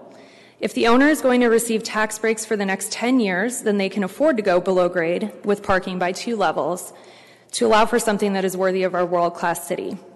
This will be one of the first, if not the first, project to reach 150 feet. Um, and so many residents in Scottsdale are very wary of this kind of height, as I'm sure you know. However, this developer will save more over the next 10 years than the cost of the underground parking will ultimately be in the beginning. Secondly, has this project been updated to follow the Old Town urban design and architectural guidelines that were adopted only two months ago? According to the proposal, the applicant is not required to provide any open space on this project, but it is providing 12,600 square feet. But where? Are you counting the sidewalks as the open space? A happy city, happy employees, and happy residents need open space and respite from the fluorescent lit indoors. Concrete sidewalks with a few trees don't count. On paper, it sure looks great, but it shouldn't be so difficult to find in the site plan. One of our primary guidelines is to design buildings that are inviting. This design doesn't seem to create human connectivity. There are no interior courtyards, although I do see the atrium. Um, I see no connection to the inside of the building from the street. What will the city do to enforce these new guidelines? Will we allow these concessions as we foray into building at these heights finally? I'm not mad at anyone wanting to make money for their investment in their work, to be clear, but in this case, I feel that we can do better in many ways. The velocity with which this design reaches 150 feet is concerning. Um, where are the creative stepbacks along Shoeman, for example, the cut ins, the greenery that could add visual interest and relief from a 400 foot glass wall? That glass wall is still there despite the atrium. Even with the stepbacks that have been added since, um, it still seems very flat, and I feel that the building should be broken up. Um, the argument for upzoning is to build up and allow for more open space, not to cram as much as possible into the upzone site. How can this design and the parking be reoriented to accommodate the owner's bottom line while maximizing the benefits to the public and the city? Any new de- development that sits at the gateway to Old Town should live up to its potential. This building will be here for a very long time. Planning commissioners, before you approve this project, dig deeper into the guidelines and look for opportunities for this project to truly represent Scottsdale. I ask the city to help all future developers, including the marquee owners, build something that makes us not regret changing our downtown zoning to allow for 150 feet in height. Thanks for your time. Thank you, Ms. Alley. I appreciate that. Um, there's no doubt that the applicant will address many of those questions during uh, their response. So. Um, our next speaker is Marilyn Atkinson.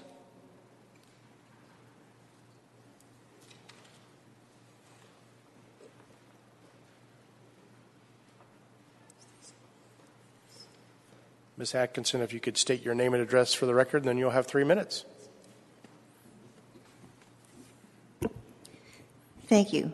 Marilyn Atkinson, and my address is on file.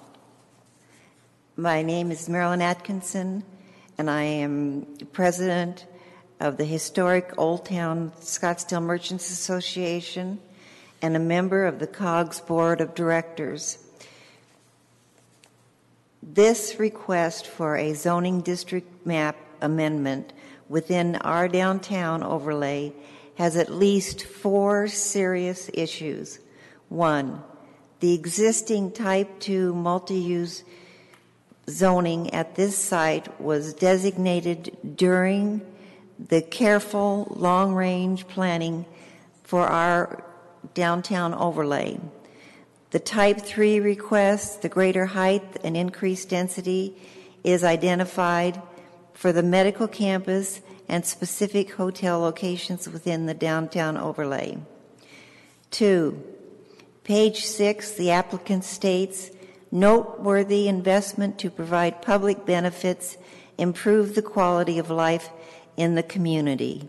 We ask specifically, how does this enormous height to 156 feet and a mass building meet those claims? Three, we question the gathering of bonuses for this project at the cost of A, the permanent 72 feet of additional building height south of the Arizona Canal.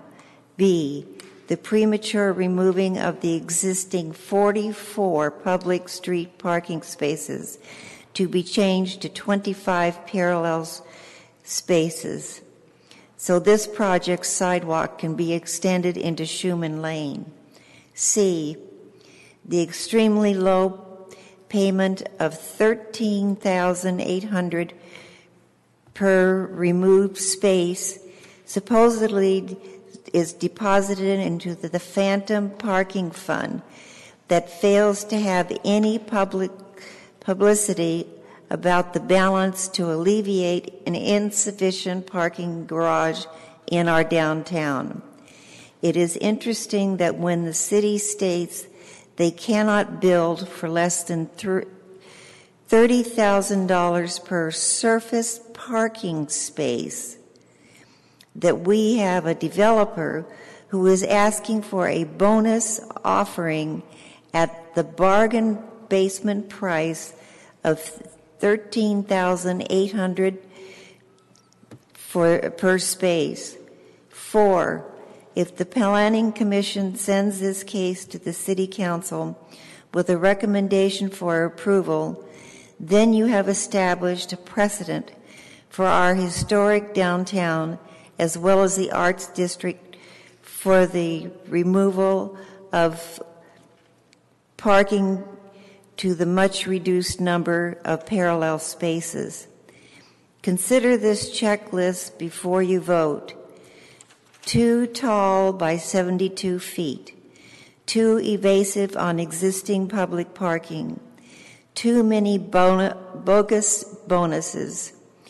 Too in conflict with our long range type 2, type 1, 2, and 3 designations. Thank you. Thank you, Ms. Atkinson. Then our final speaking card that we have is French Thompson. Mr. Thompson, if you could state your name and address for the record, and you'll have three minutes. Mr. Chairman, I've got a request. Could you uh, wait to start three minutes until I've actually given you my name and address?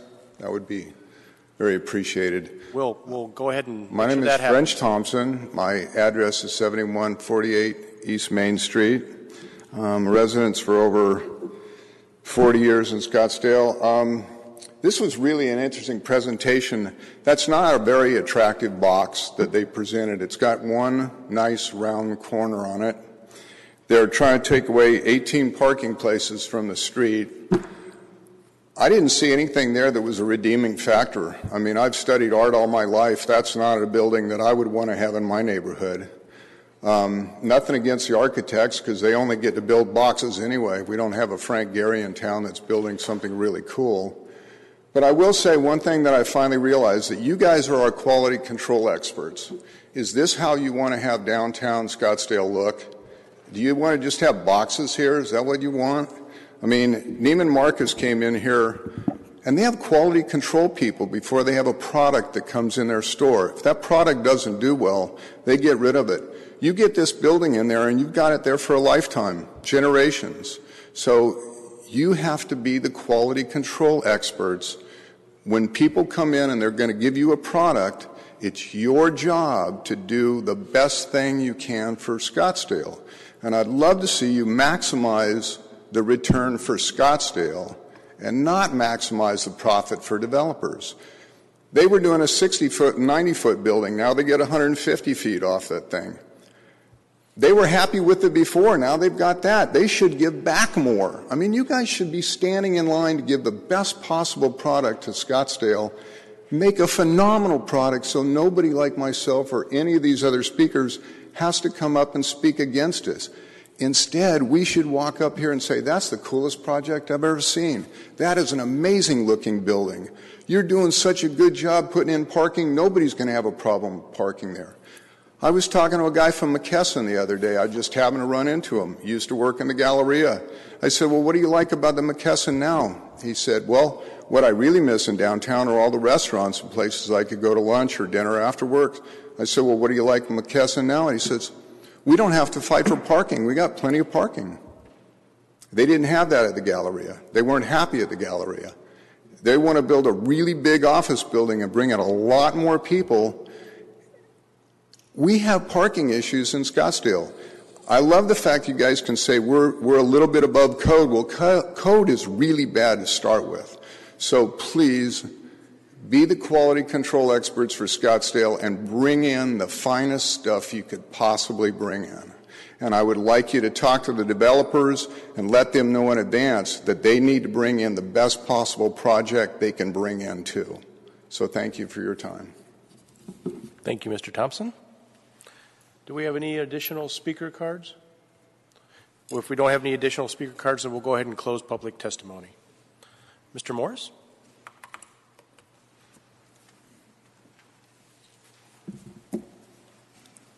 Thank you, Mr. Chair.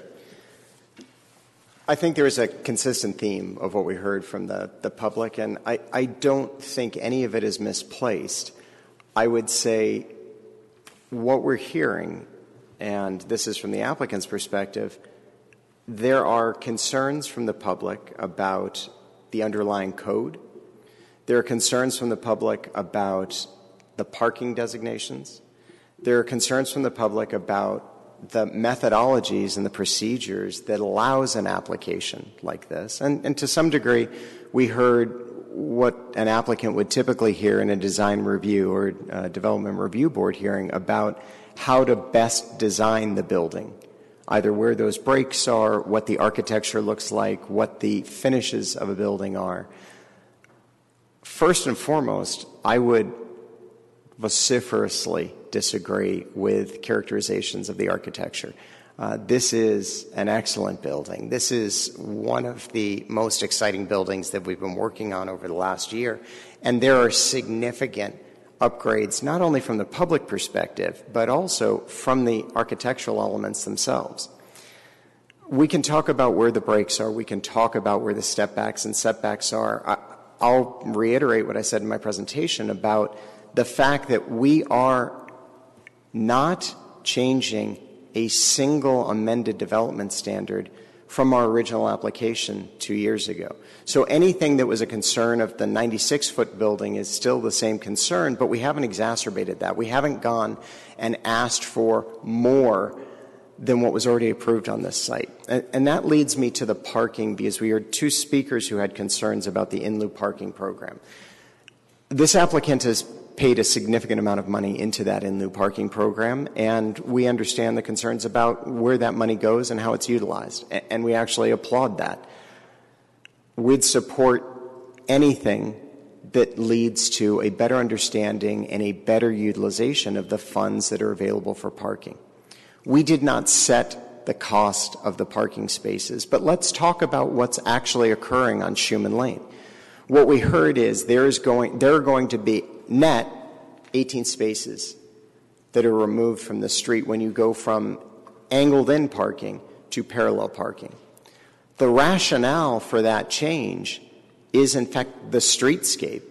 It's somewhat, it, it, it obviously addresses the building design and where the new property line is after the dedication is made. But we're doing it on both sides of the street to create a pedestrian environment. If you look at the parking in the entertainment district, for example, it has been converted largely to parallel parking because it's a better pedestrian environment than head in parking. So this new design is actually both costly and beneficial, and those 18 spaces are being paid for, but we're not necessarily looking at the additional spaces. I know uh, one of Ms. Alley's questions were how many spaces are being created for the public? So, in addition to the private parking that's occurring for the office tenants, there are at least 50 retail spaces that will go on for that new streetscape that will not be pay parking. They will be accessed for that retail experience, either the restaurant or the retail that's being created along Shoeman. While we're talking about paying for parking, one of the questions was uh, is the developer going to charge for parking again? This developer does not charge employees for parking. This developer, like every developer in the city of Scottsdale and Valleywide and nationwide, as a building owner, when they lease spaces, they will typically charge the tenant for parking spaces. I have no idea whether the individual tenants are charging their employees for parking, and I would think that probably changes from tenant to tenant. What I can tell you is that there's a combination of almost 3,000 parking spaces that are being created between the proposed project and the existing Galleria project. It is a wonderful thing to have adequate parking. It is not necessarily a benefit to the city or the developer to overpark a project because empty parking spaces and empty parking fields don't add to the bottom line of a developer or the vitality of the city. And I have no doubt that it is an easier parking solution on the Indian reservation. But the idea is not to create low scale fields of buildings and blacktop for parking downtown. The idea is to create something more exciting, which is what we're doing with this application.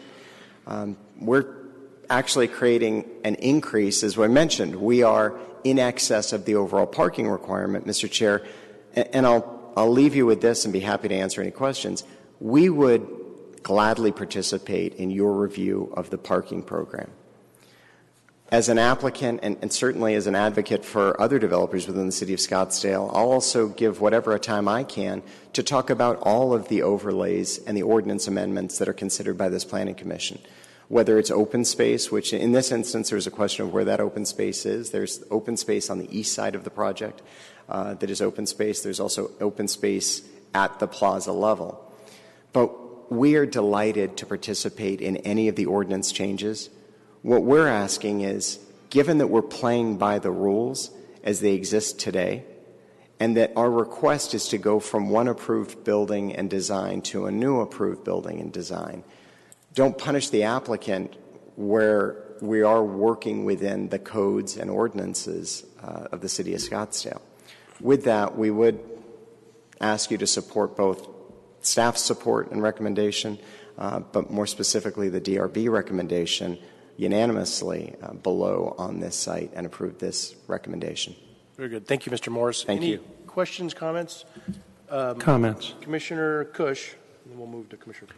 Uh, Comments. Um, First off, I can speak to DRB. I was on DRB when this project was heard.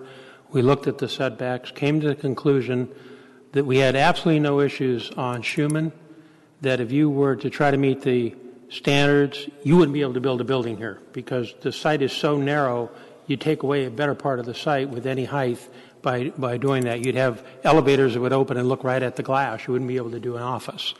So we absolutely had no problems with that. We talked a little bit about maybe a little bit more setback on Scottsdale Road, but agreed that if you're standing right in front of the building, whether it's setback another two or three feet, you're not going to know. The only way you might know if you stood down at Camelback and Scottsdale Road. We thought the elevation of Scottsdale and Camelback Road was, was very nice. I think the applicant's getting beat up here on, on issues that are not theirs to deal with.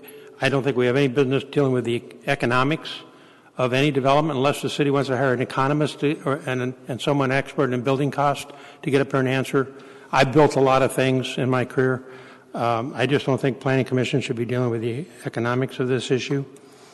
I've really looked at the parking issue big time the last few days. I've had meetings with people, conversations. I personally interviewed 40 people, I office right in this neighborhood. I personally interviewed 40 young people who work at the gallery who are parking off site. And I've asked them why they're not parking there. And not one of them has said, because they're charging me. No one is charging for parking. I wish we'd stop this rumor. Individuals are not being charged to park, from what I can tell after interviewing literally dozens of people. The problem appears to be that I don't think the building is allocating their parking as well as they should. I believe this building, the gallery is fairly full, 80, 90%. It's got a fairly, it's fairly full. I went and walked their parking structure. The top three floors are empty.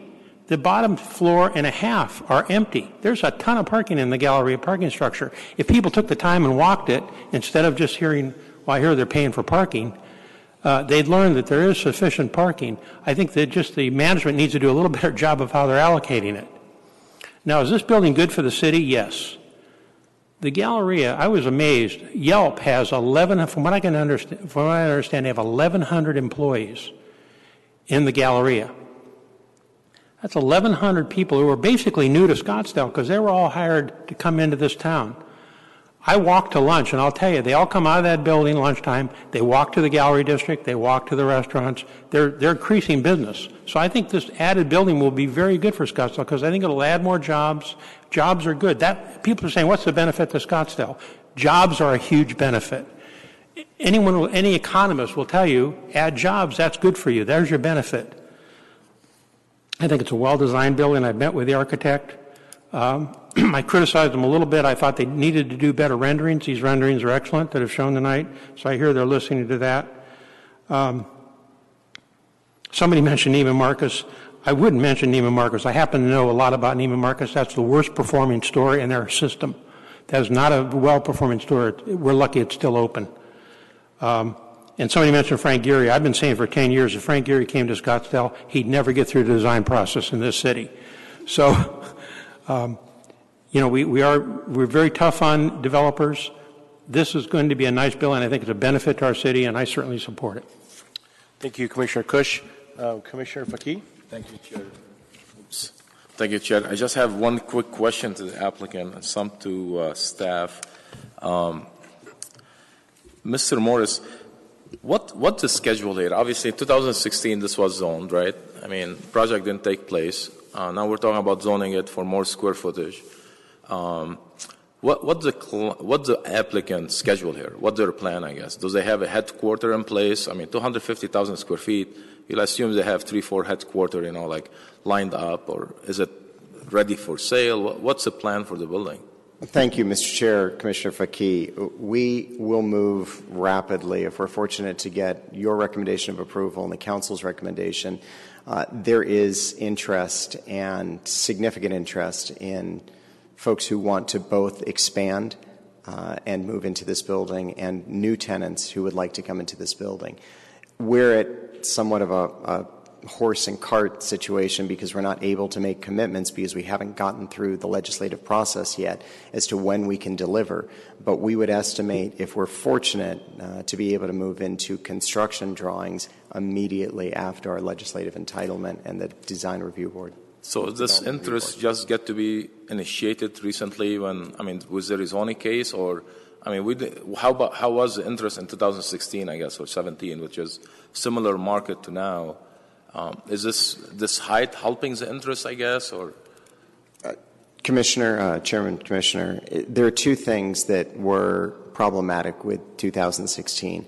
One of those things was the costs involved with building that building, the underground parking. When, and if you'll remember, in 2016, virtually every opportunity that we would come back and try and value engineer the building itself, when we came, because of the time delays in that process, even though we had been able to successfully engineer, the costs had increased every time we went back and did that engineering.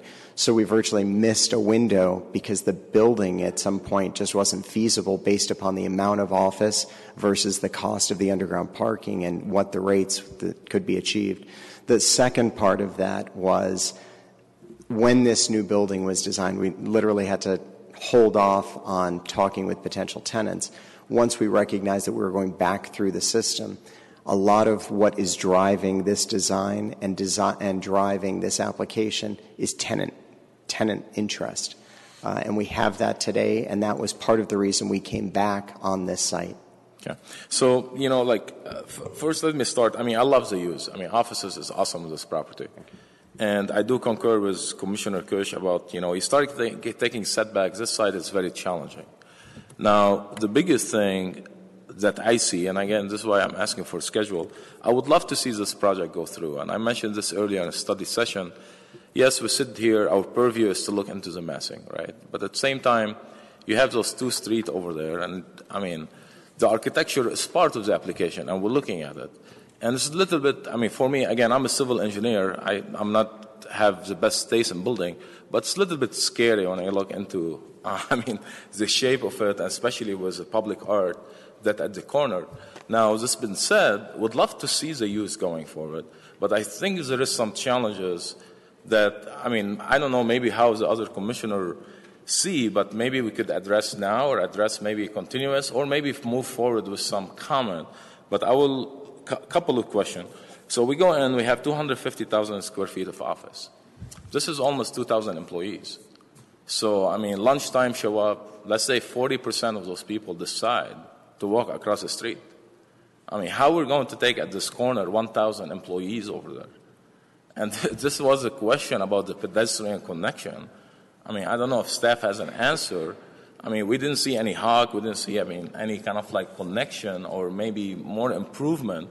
But what's the staff plan here? I mean, how, how is this whole infrastructure is going to take 1,000 employee or even 500 during lunchtime? I mean, outside of the parking, because, I mean, I have my own view of the parking, but mainly, you know, this pedestrian connection. And, and Mr. Chair, uh, Commissioner Fakih, I'll, I'll treat some of the comments as a question, just as an opportunity to, to chime in, and then I'll let staff address what they feel is appropriate.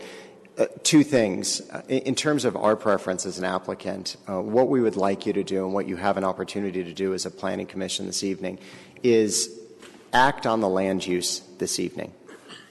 Make a recommendation on the land use itself this evening and make recommendations in that recommendation, uh, stipulations within that recommendation as to what the focus at DRB needs to include.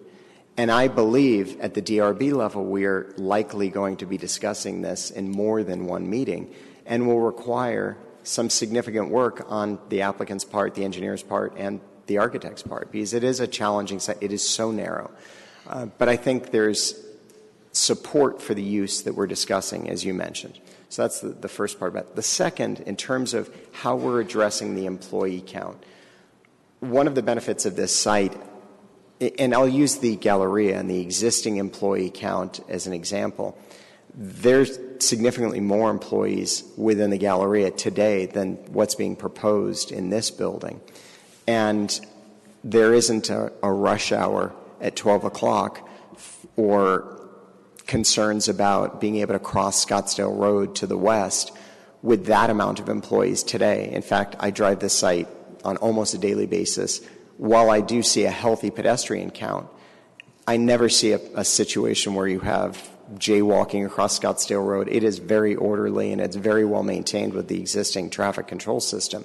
The other benefit to that is that while some people are going westbound on Scottsdale or west across Scottsdale Road, there are more opportunities east of this site, which is connection by sidewalk and crossing either collector or residential streets going into the entertainment district, which is increasingly a lunchtime opportunity. So if you look at this site and where it sits in the city, and one of the reasons that the ordinance that talked about the overlay encourages height and intensity at this very intersection is because you can find opportunities for lunch or services in virtually every cardinal direction. So there isn't a swarm of people all having to cross one road at one time. It's a long answer, but hopefully. And I appreciate that. I mean, again, going back, I like the use. I don't want, if you guys have headquarters ready to come to the city and, you know, like, we're talking about setback and maybe leave the architecture to DRB, it's fine.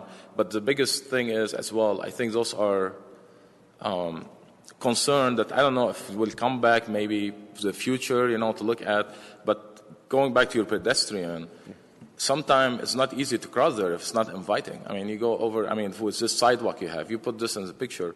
If I'm sitting in Galleria, I mean, it's not that inviting to go across to walk over there. And I think what you guys are bringing here, an opportunity for a great project, and this pedestrian connection could be definitely part of it. I mean, how, and I mentioned this to, to you guys during our meeting, I think it makes sense maybe to look into this part. And I know maybe from now to council or now or however staff seen it as well.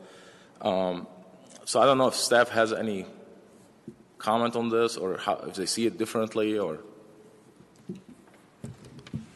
Mr. Chairman, Commissioner Fakih, are you talking about the pedestrian?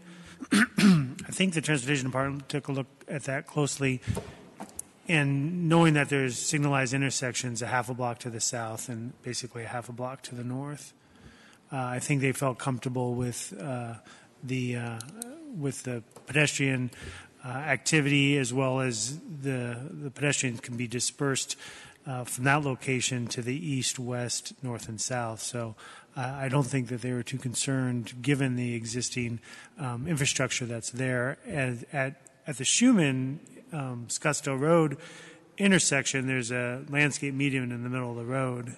I mean, sure, certainly people can jaywalk, but uh, we're not anticipating that happening with the half a block uh, ease of access to a signalized intersection. And it's not just about jaywalking. I think you're talking about even Galleria and additional to this volume. I think staff probably should look, take closely look into this. I mean, when you have an, a 12 feet sidewalk, I mean, an area 12 by 12, how many people are you going to fit on it before they cross the street? I mean, something to look at, and probably, you know, something I would like to add to the discussion earlier, comment to DRB or even to the council um, on how what the planned pedestrian connection along this whole intersection, including the Galleria, not just the 250,000 square feet we're doing. Especially that you have table outside, you have, I mean, some pots, you have some trash can that almost in the right way. I don't know if there is any liability to that or not, but something to look at as well someone get to, I mean, drop in the right way just between private property and public property. I mean, um, some something for staff to look at. Another question I have for staff, um, with what we're doing here right now, I mean, obviously we're setting precedent. Similar, I mean, the applicant come in because we have 150 feet in our zoning, and it's done before, and they have the right to do so. But going forward with 150 feet along Scottsdale Road, and with all setback we're trying to do here, how does staff, I don't know if you looked into it, along the whole Scottsdale Road stretch, if we have those rezoning start happening, is this the city plan or is this what staff see happening along Scottsdale Road? Bunch of 150 feet building, how, what's the plan for it?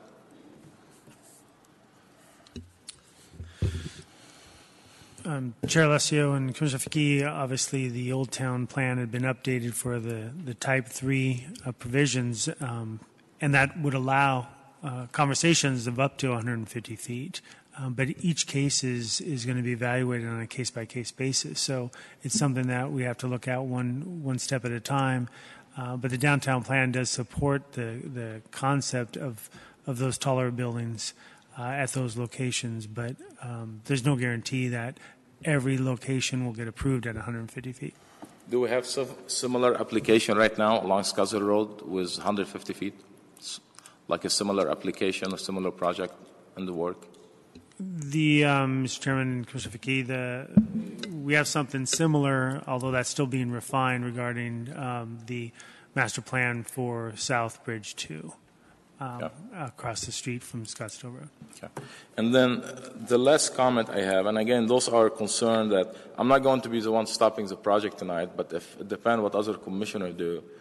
Public art. I mean, I'm looking at the best piece of this colorful. So you have a uh, building that look really kind of like, I mean, white and metal, and suddenly you have this really nice yellows that show up at public art for $500,000.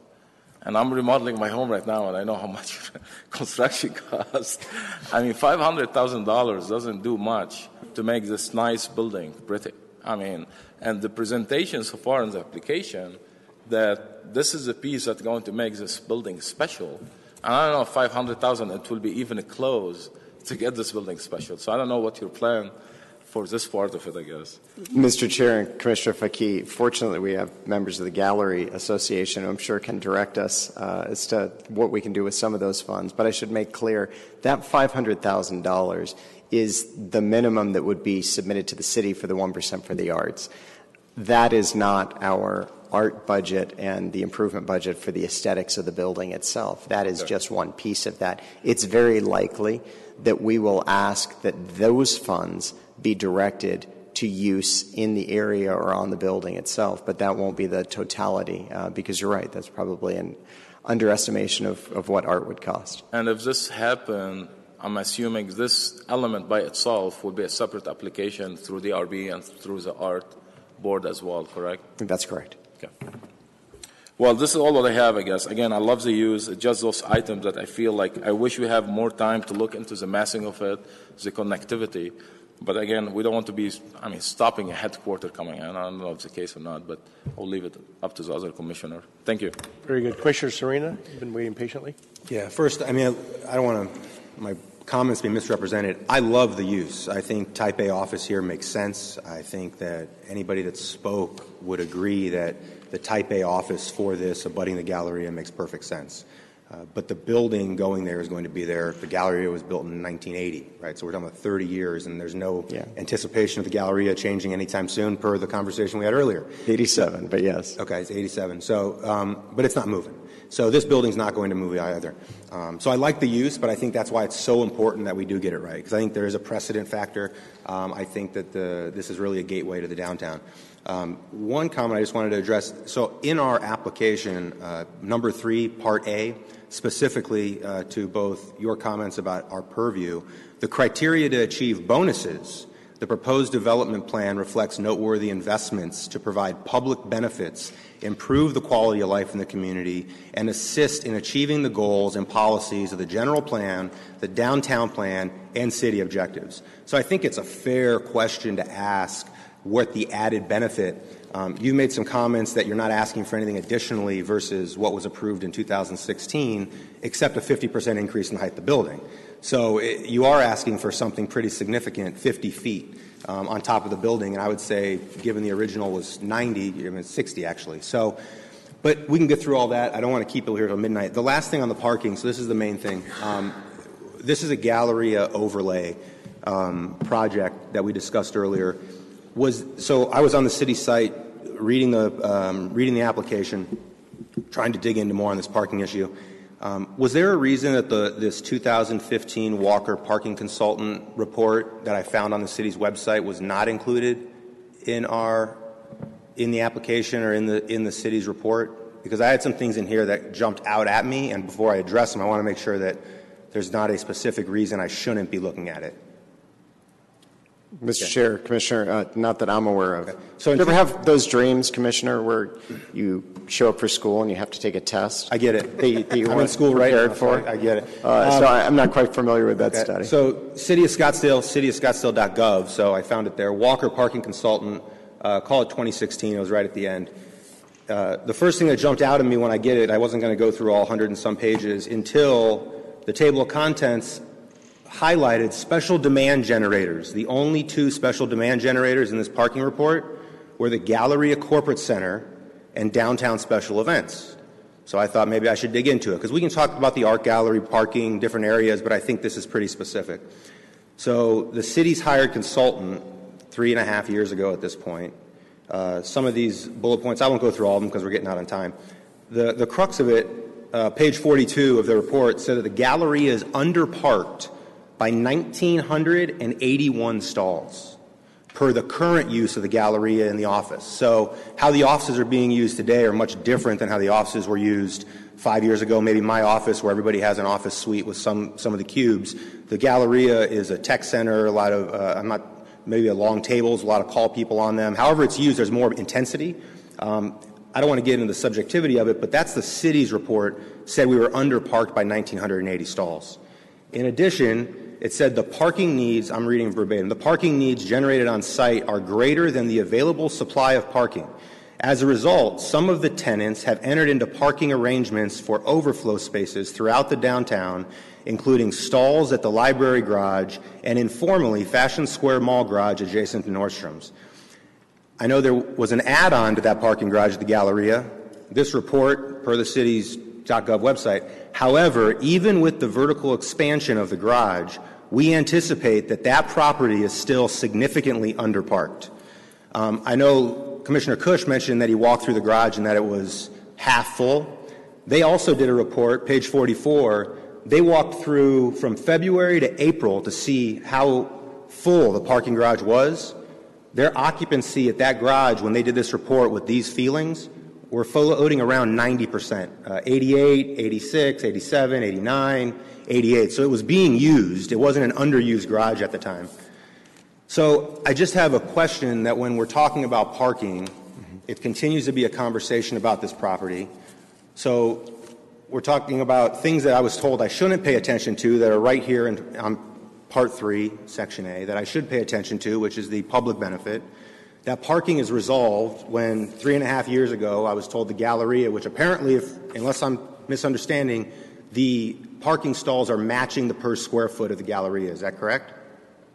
I'm sorry, I don't understand your question. The parking stalls for this project per square foot of, of office space are matching that of the Galleria, plus or minus maybe a couple percent. Is that correct? Uh, the same ratio. The same ratio. So at that same ratio, given that the overlay is going to allow the same use, I would anticipate that this concern of under parking is going to increase significantly as well.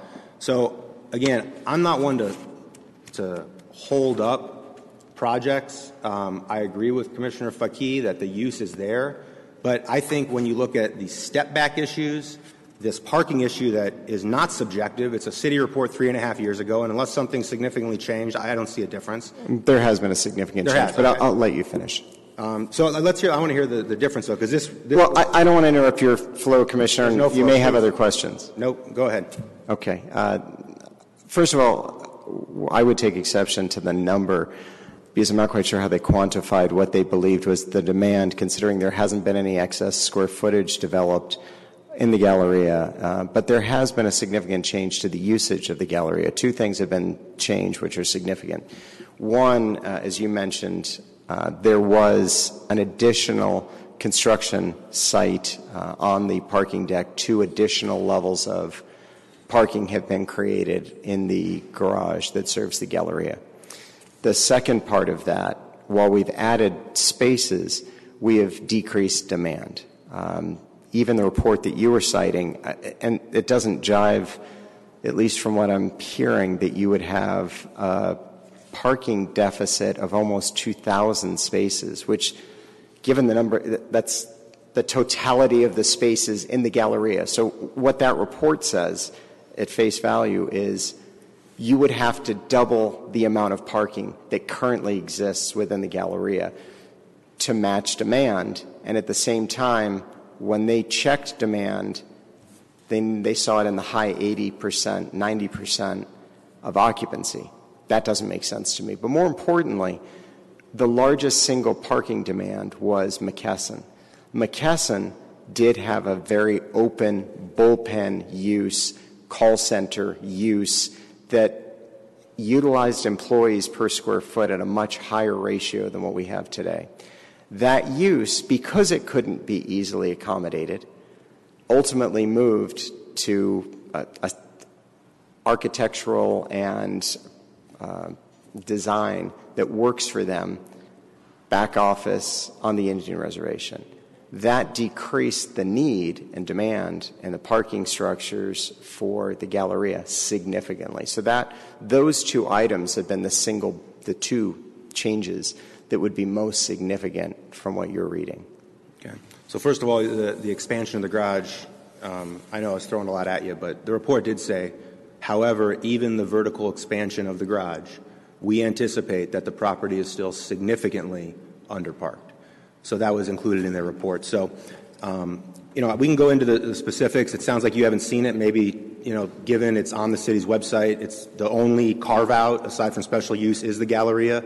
Uh, given that this is a Galleria overlay, maybe something that you should uh, take a look at and, and, we should include. So I would agree with Commissioner Fakih. Um, if there's no other comments, but I'm happy to give some kind of continuance to this. I just think that there are a lot of issues that need to be resolved given I have concerns about the step back um, on Scottsdale, Shoeman a little bit. Uh, staff, we can talk about later. It's getting late on the, um, the step backs on Shoeman. Um, but then the city's own parking study on the Galleria uh, showing a significant underpark. I mean, not, not a couple stalls, right? I mean, 2,000 stalls basically. So um, that's a big concern for me. So uh, unless there's other questions, and I'm guessing looking down, maybe not, but um, if not, um, I'll be happy to make a continuance motion. And uh, if, uh, if we can't get a continuance, I'm not comfortable um, with uh, where we're at currently um, with the current um, case in front of us. So I don't want to just blow it up. You guys have had a lot of work through this. I'm happy to give you time to work back through it and make some improvements. Um, but um, that's kind of where, where I stand. So I'll give it back okay. to the chair. Thank Great. you, Commissioner. And thank you, Mr. Chair. You know, our preference as the applicant would be to move forward with the recommendation this evening. The two items that are being referenced, both parking is a, a citywide issue, but certainly one that we're not exacerbating with this application. We're actually uh, increasing the amount of parking available and are beyond your current code. Secondly, uh, in, in terms of design, we will have a full and fair opportunity to do that design at your development review board, but the stepbacks and setbacks that were reviewed were reviewed specifically by the DRB and recommended unanimously and that recommendation still stands before you. I, am happy to take any comments so that as we come back to the DRB, we can address design issues, which I, I really think we're, we're, talking about tonight. Very good. Thank you. Thank you, uh, Commissioner Serena. Is there any other comments or questions? We do have a couple more Thank thoughts you, by Chairman. Commissioner Bollinger. Sure. Um, I'm looking at it a little bit more from our beginning comment about um, the Galleria being a 10 acre parcel. We're not rezoning that piece, but at the same time, we're talking about it and it's being used as a, uh, an added on benefit to the whole corporate center. I'm looking at that as a future use and, and a statement that says this is what the corner is going to stay.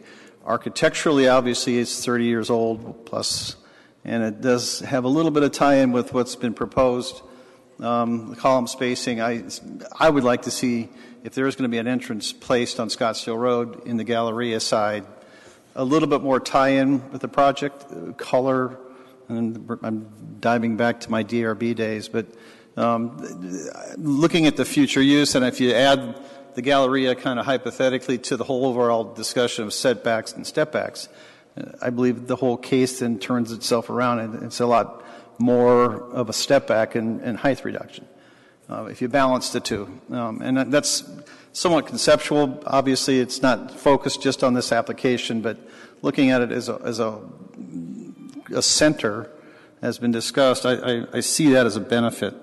Um, how it holds, whether it got split, got rezoned and redesigned, that's another discussion for a different day, but I, I'm still, I'm feeling pretty good about it. Um, the parking issue, it was a, it was a call center. I've done call centers, we've all dealt with them. It's, it's 10x the parking. And so if that's not part of this application, it hasn't been discussed, the gallery has been redone, it's a different parking environment. I'm not sure what the, the ratios are offhand of four per thousand or five per thousand, what the numbers are that you're using.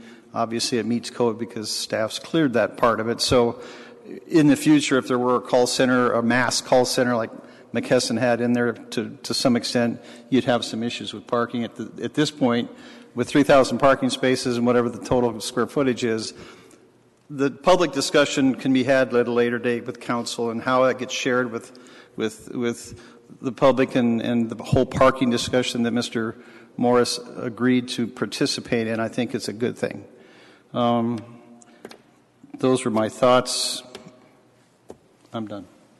Very good, thank you. Any other additional comments, questions? Commissioner Kush, I see your finger on the, the button. You're, so you're looking for a motion. Any I'd like other to make a comments, motion. questions before we move to a motion at all? Any other discussion? I'd like to make a motion, Mr. Chairman. Move to make a recommendation to City Council for approval of case 7ZN 2015 number 2 per the staff recommended stipulations after determining that the PBD findings have been met and the proposed zoning district amendment, development plan, and development standards are consistent and conform with the adopted general plan. Very good. We have a motion by Commissioner Kush. Do we have a second? We have a second by Commissioner Bollinger. All in favor? Aye. Aye. Oh, sorry. Before we vote, Chair, can I have just one question or comment? there's a motion on the table. Well, you can change the motion if we, if you want, just a After question. motion- Not after motion second. Can I make comment on the motion? Um, We'll allow one comment on the motion, and then we need to do our vote. Okay, thank you. So as far as the motion, going back to the discussion we have here earlier about parking, you know, some of the design and some of the pedestrian connection, um, for us as a board, are we going to be able to comment on this again or even able to see it? Or is it going to be just some comment that get to be in the report for council and DRB?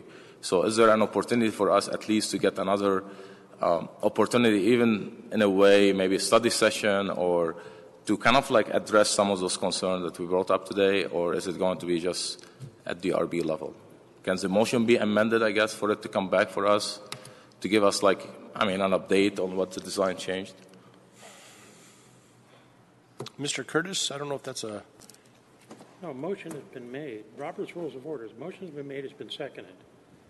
understood, we, we're You having can turn additional down the discussion. motion and make a new motion, but Ms. Curtis, do you have a comment on the question? Legal counsel? Yes, uh, Chair and Commissioners, there, there is a motion on the table with a second. Very good. Then we will move forward with the motion. Obviously, council has, has advised us that we need to finish up with the motion, Mr. Fakis, uh, Commissioner Fakis. So, um, again, we have a motion on the table with a second. Um, all in favor, state aye. Aye. Aye. Aye. Opposed? Nay. Motion passes, if I, if I heard correctly, four to two? Yeah. Is that a correct count? Okay. Motion passes four to two. Thank you. I want to get you a copy of Robert's Rules of Any- We can always amend the motion if. Mr. Curtis, anything additional on the agenda tonight? No, Mr. Chairman, that's it. Very good. And Ask for a motion for adjournment? So moved. Uh, Motion by Commissioner Smith. We have a second? Second. Second. Second by Commissioner Bollinger. All in favor? Aye. Aye. I'll be on DRB. We could, you could always amend the motion. Guys, are we a motion to adjourn? Aye. Aye. motion passes seven to zero. Thank you.